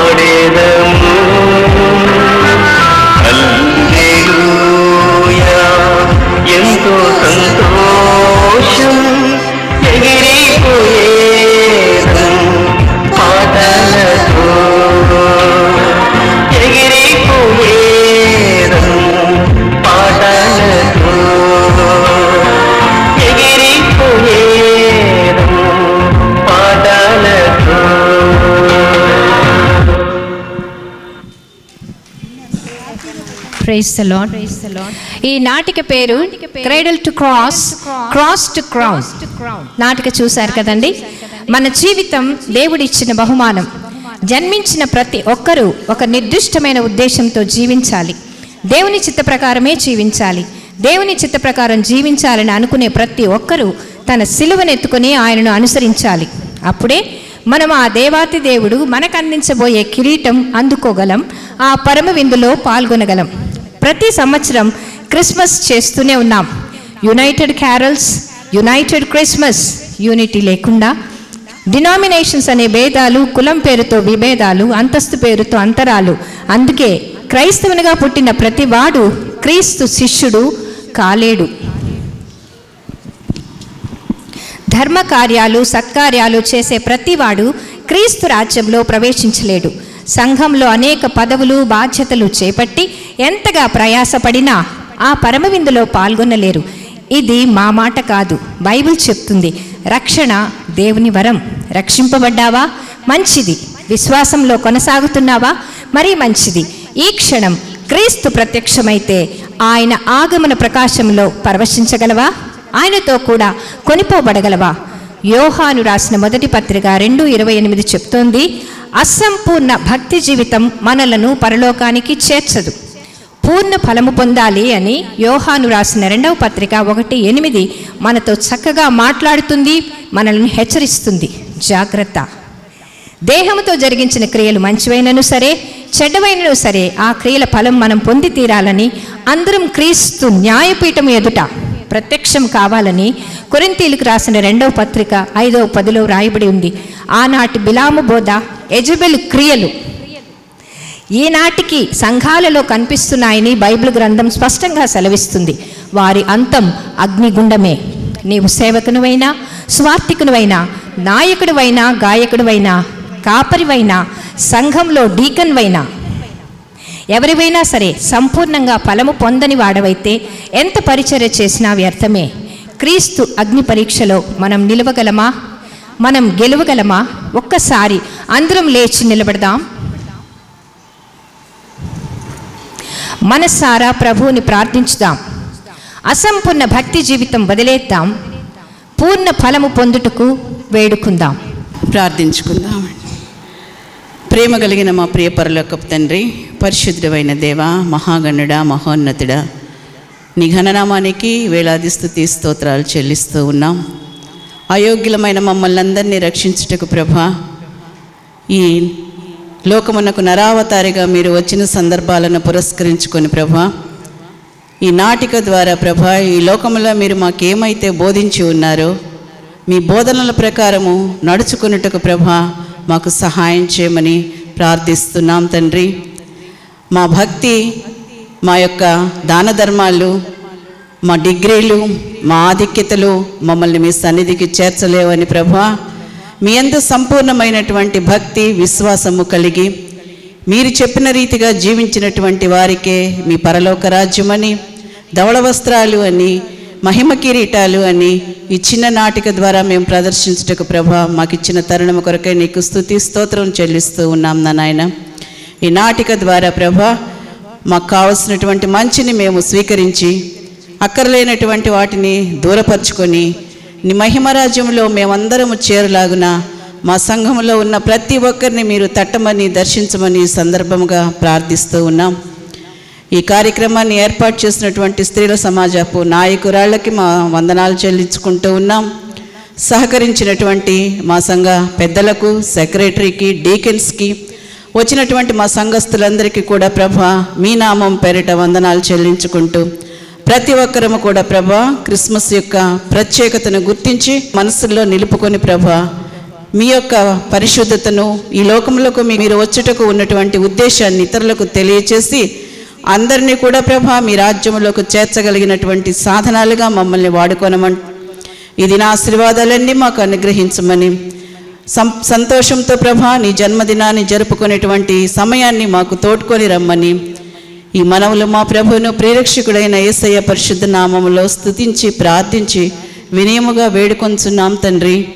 అమ్మేన్ నాటికలోని పాత్రధారుల పరిచయం. దెబోరా ప్రవక్తి శ్రీమతి మార్గరేట్.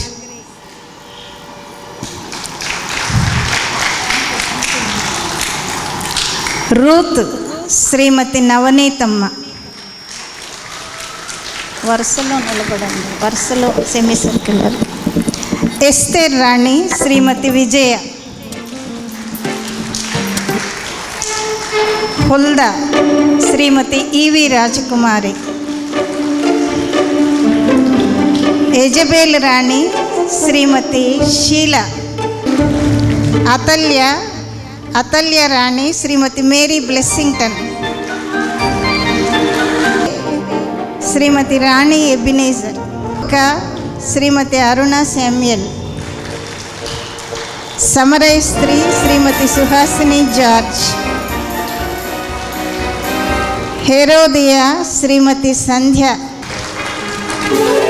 Herodias కుమార్తె Salome Kumari Prasanna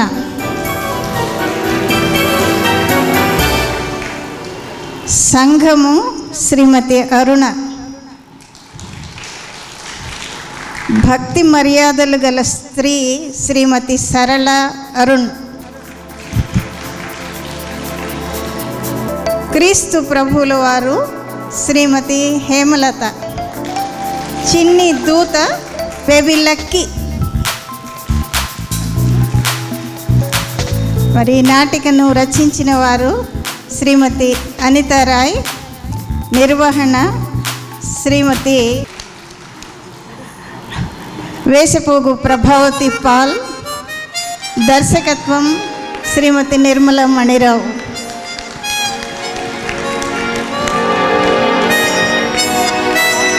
Thank you very much thank you very much everybody ఇప్పుడు మనకు కేక్ కటింగ్ ఉందండి. మా స్త్రీల సమాజంలో సీనియర్ మోస్ట్ మహిళ శ్రీమతి ఫ్రాన్సిస్ జాష్వా గారిని వేదిక మీదకి ఆహ్వానిస్తున్నాం. ఫ్రాన్సిస్ జాషువా గారిని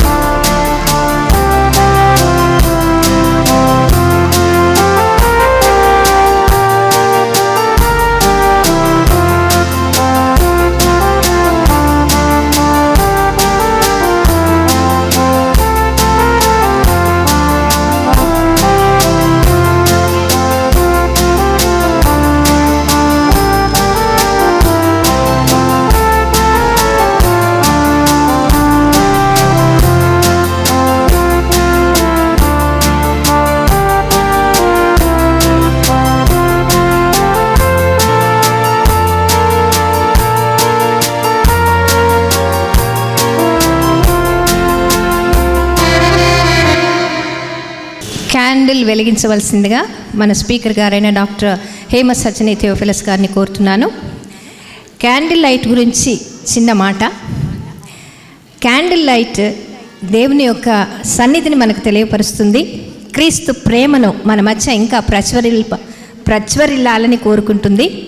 మనం క్యాండిల్ని ఊదినప్పుడు దాని నుంచి పొగ వస్తుంది కదండి. ఆ స్మోక్ దేవుని సన్నిధికి మన ప్రార్థనలన్నిటినీ చేరుస్తుందని కామెంటరీలో రాస్తూ ఉంటారు. అలాగే ఈ క్యాండిల్స్ని అందంగా అలంకరిస్తారు. ఇప్పుడు మనకు వాణి కూడా చాలా చక్కగా అలంకరించింది క్యాండిల్స్ని. అందంగా అలంకరించబడిన క్యాండిల్స్ మంచి సువాసన కూడా వెదజల్లాలంట. మనం కూడా సత్క్రియలతో అలంకరింపబడి క్రీస్తులాగా మనం పరిమణ సువాసనగా ఉండాలి. మనం వెలిగించబోయే క్యాండిల్ దేన్ని సిగ్నిఫై చేస్తుంది అనేది మనం ఆలోచించుకోవాలని చెప్తున్నారు. ఇక్కడ రక్షణ పొందని వారు ఎవరైనా ఉన్నట్లయితే క్యాండిల్ వెలిగించేటప్పుడు ప్రభుని మీ హృదయంలోకి ఆహ్వానించండి. రక్షింపబడిన వాళ్ళు ఉన్నట్లయితే క్రీస్తు ప్రేమ మీలో ఇంకా దినదినం అభివృద్ధి చెంది అందరితో ప్రేమగా ఉండడానికి క్యాండిల్ వెలిగించండి. ఎవరి ఇంట్లోనైనా లేదా సంఘంలోనైనా సమాజంలోనా సమాధానం లేకపోతే సమాధానం అనే క్యాండిల్ని వెలిగించండి. అలాగే యూనిటీ లేకపోతే యూనిటీ అనే క్యాండిల్ని వెలిగించండి. హ్యూమిలిటీ కూడా చాలా ఇంపార్టెంట్. ఒకరినొకరు తగ్గించుకోవాలి. ఇలాగ క్యాండిల్ని ఒక ఫీలింగ్తో మనం అందరం వెలిగించాలని కోరుకుంటున్నాను.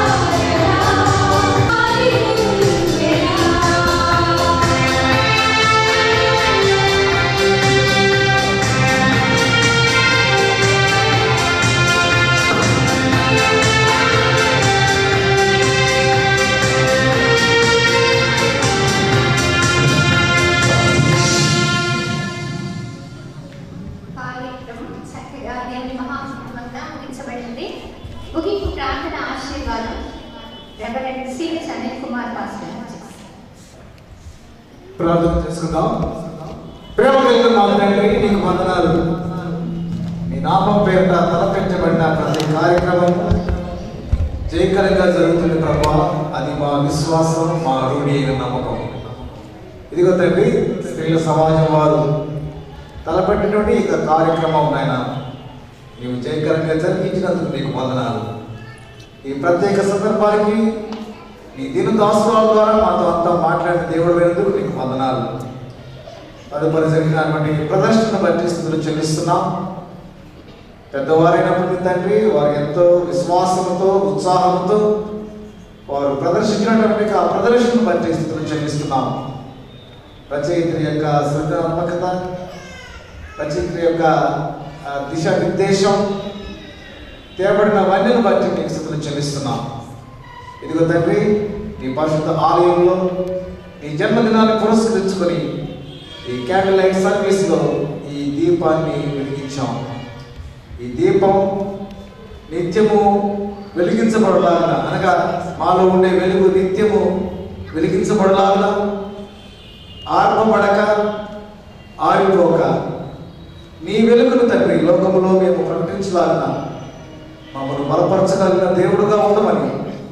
ఎటువంటి సాతాను శోధన అంధకార క్రియల వైపు తండ్రి మేము పయనింపక నీ వైపే పయనిస్తూ నీ వెలుగునే మేము కలిగి ఉంటూ ఆ వెలుగును లోకంలో ప్రకటిస్తూ వెలుగు వెలుగు జ్యోతుల వలె జీవించటకు ఈ క్రిస్మస్ మాకు ఒక మంచి ఉదాహరణగా ఉండాలని కృప చూపించమని మా ప్రభు అని యేసుక్రీస్తు పేరు వినయంతో ప్రతిమలాడి అడిగి వేడుకొనుచున్నాం మా ప్రియ తండ్రి. ఆమె మన తండ్రి అయిన దేవుని యొక్క ప్రేమ ప్రభువు రక్షకుడు యేసుక్రీస్తు యొక్క కృప పరిశుద్ధాత్మ యొక్క అన్య సహవాసము సమాధానము దీవెనలు. ఈ గొప్ప కార్యక్రమాన్ని తలపెట్టినటువంటి బిడ్డలు ఈ గొప్ప కార్యక్రమంలో పాల్గొన్నటువంటి ప్రతి బిడ్డకు ఇప్పుడు ఎల్లప్పుడూ సదాతోడి నడిపించును గాక. ఆమె మీరు అలాగే రెండు నిమిషాలు నిలబడినట్లయితే మా స- స్త్రీల సమాజ సంఘ ట్రెషర్ గారు చిన్న ఓట్ ఆఫ్ థ్యాంక్స్ చదువుతారు. ఈ కార్యక్రమానికి చేసిన ప్రతి ఒక్కరికి మా స్త్రీల సమాజం తరఫున మీకు వందనాలు చెల్లిస్తున్నానండి. ఎందుకంటే ఎంతో ఓపికతోటి మీరు ఈ సాయంకాల సమయమున ఈ నాటికను ఎంతో ఆనందంగా వాళ్ళు ప్రదర్శించిన రీతిని బట్టి మీరు తిలకించిన రీతిని బట్టి కూడా మీకు వందనాలు చెల్లిస్తున్నాను. మా స్త్రీల సమాజం తరఫున happy Christmas and pastors new year everybody happy Christmas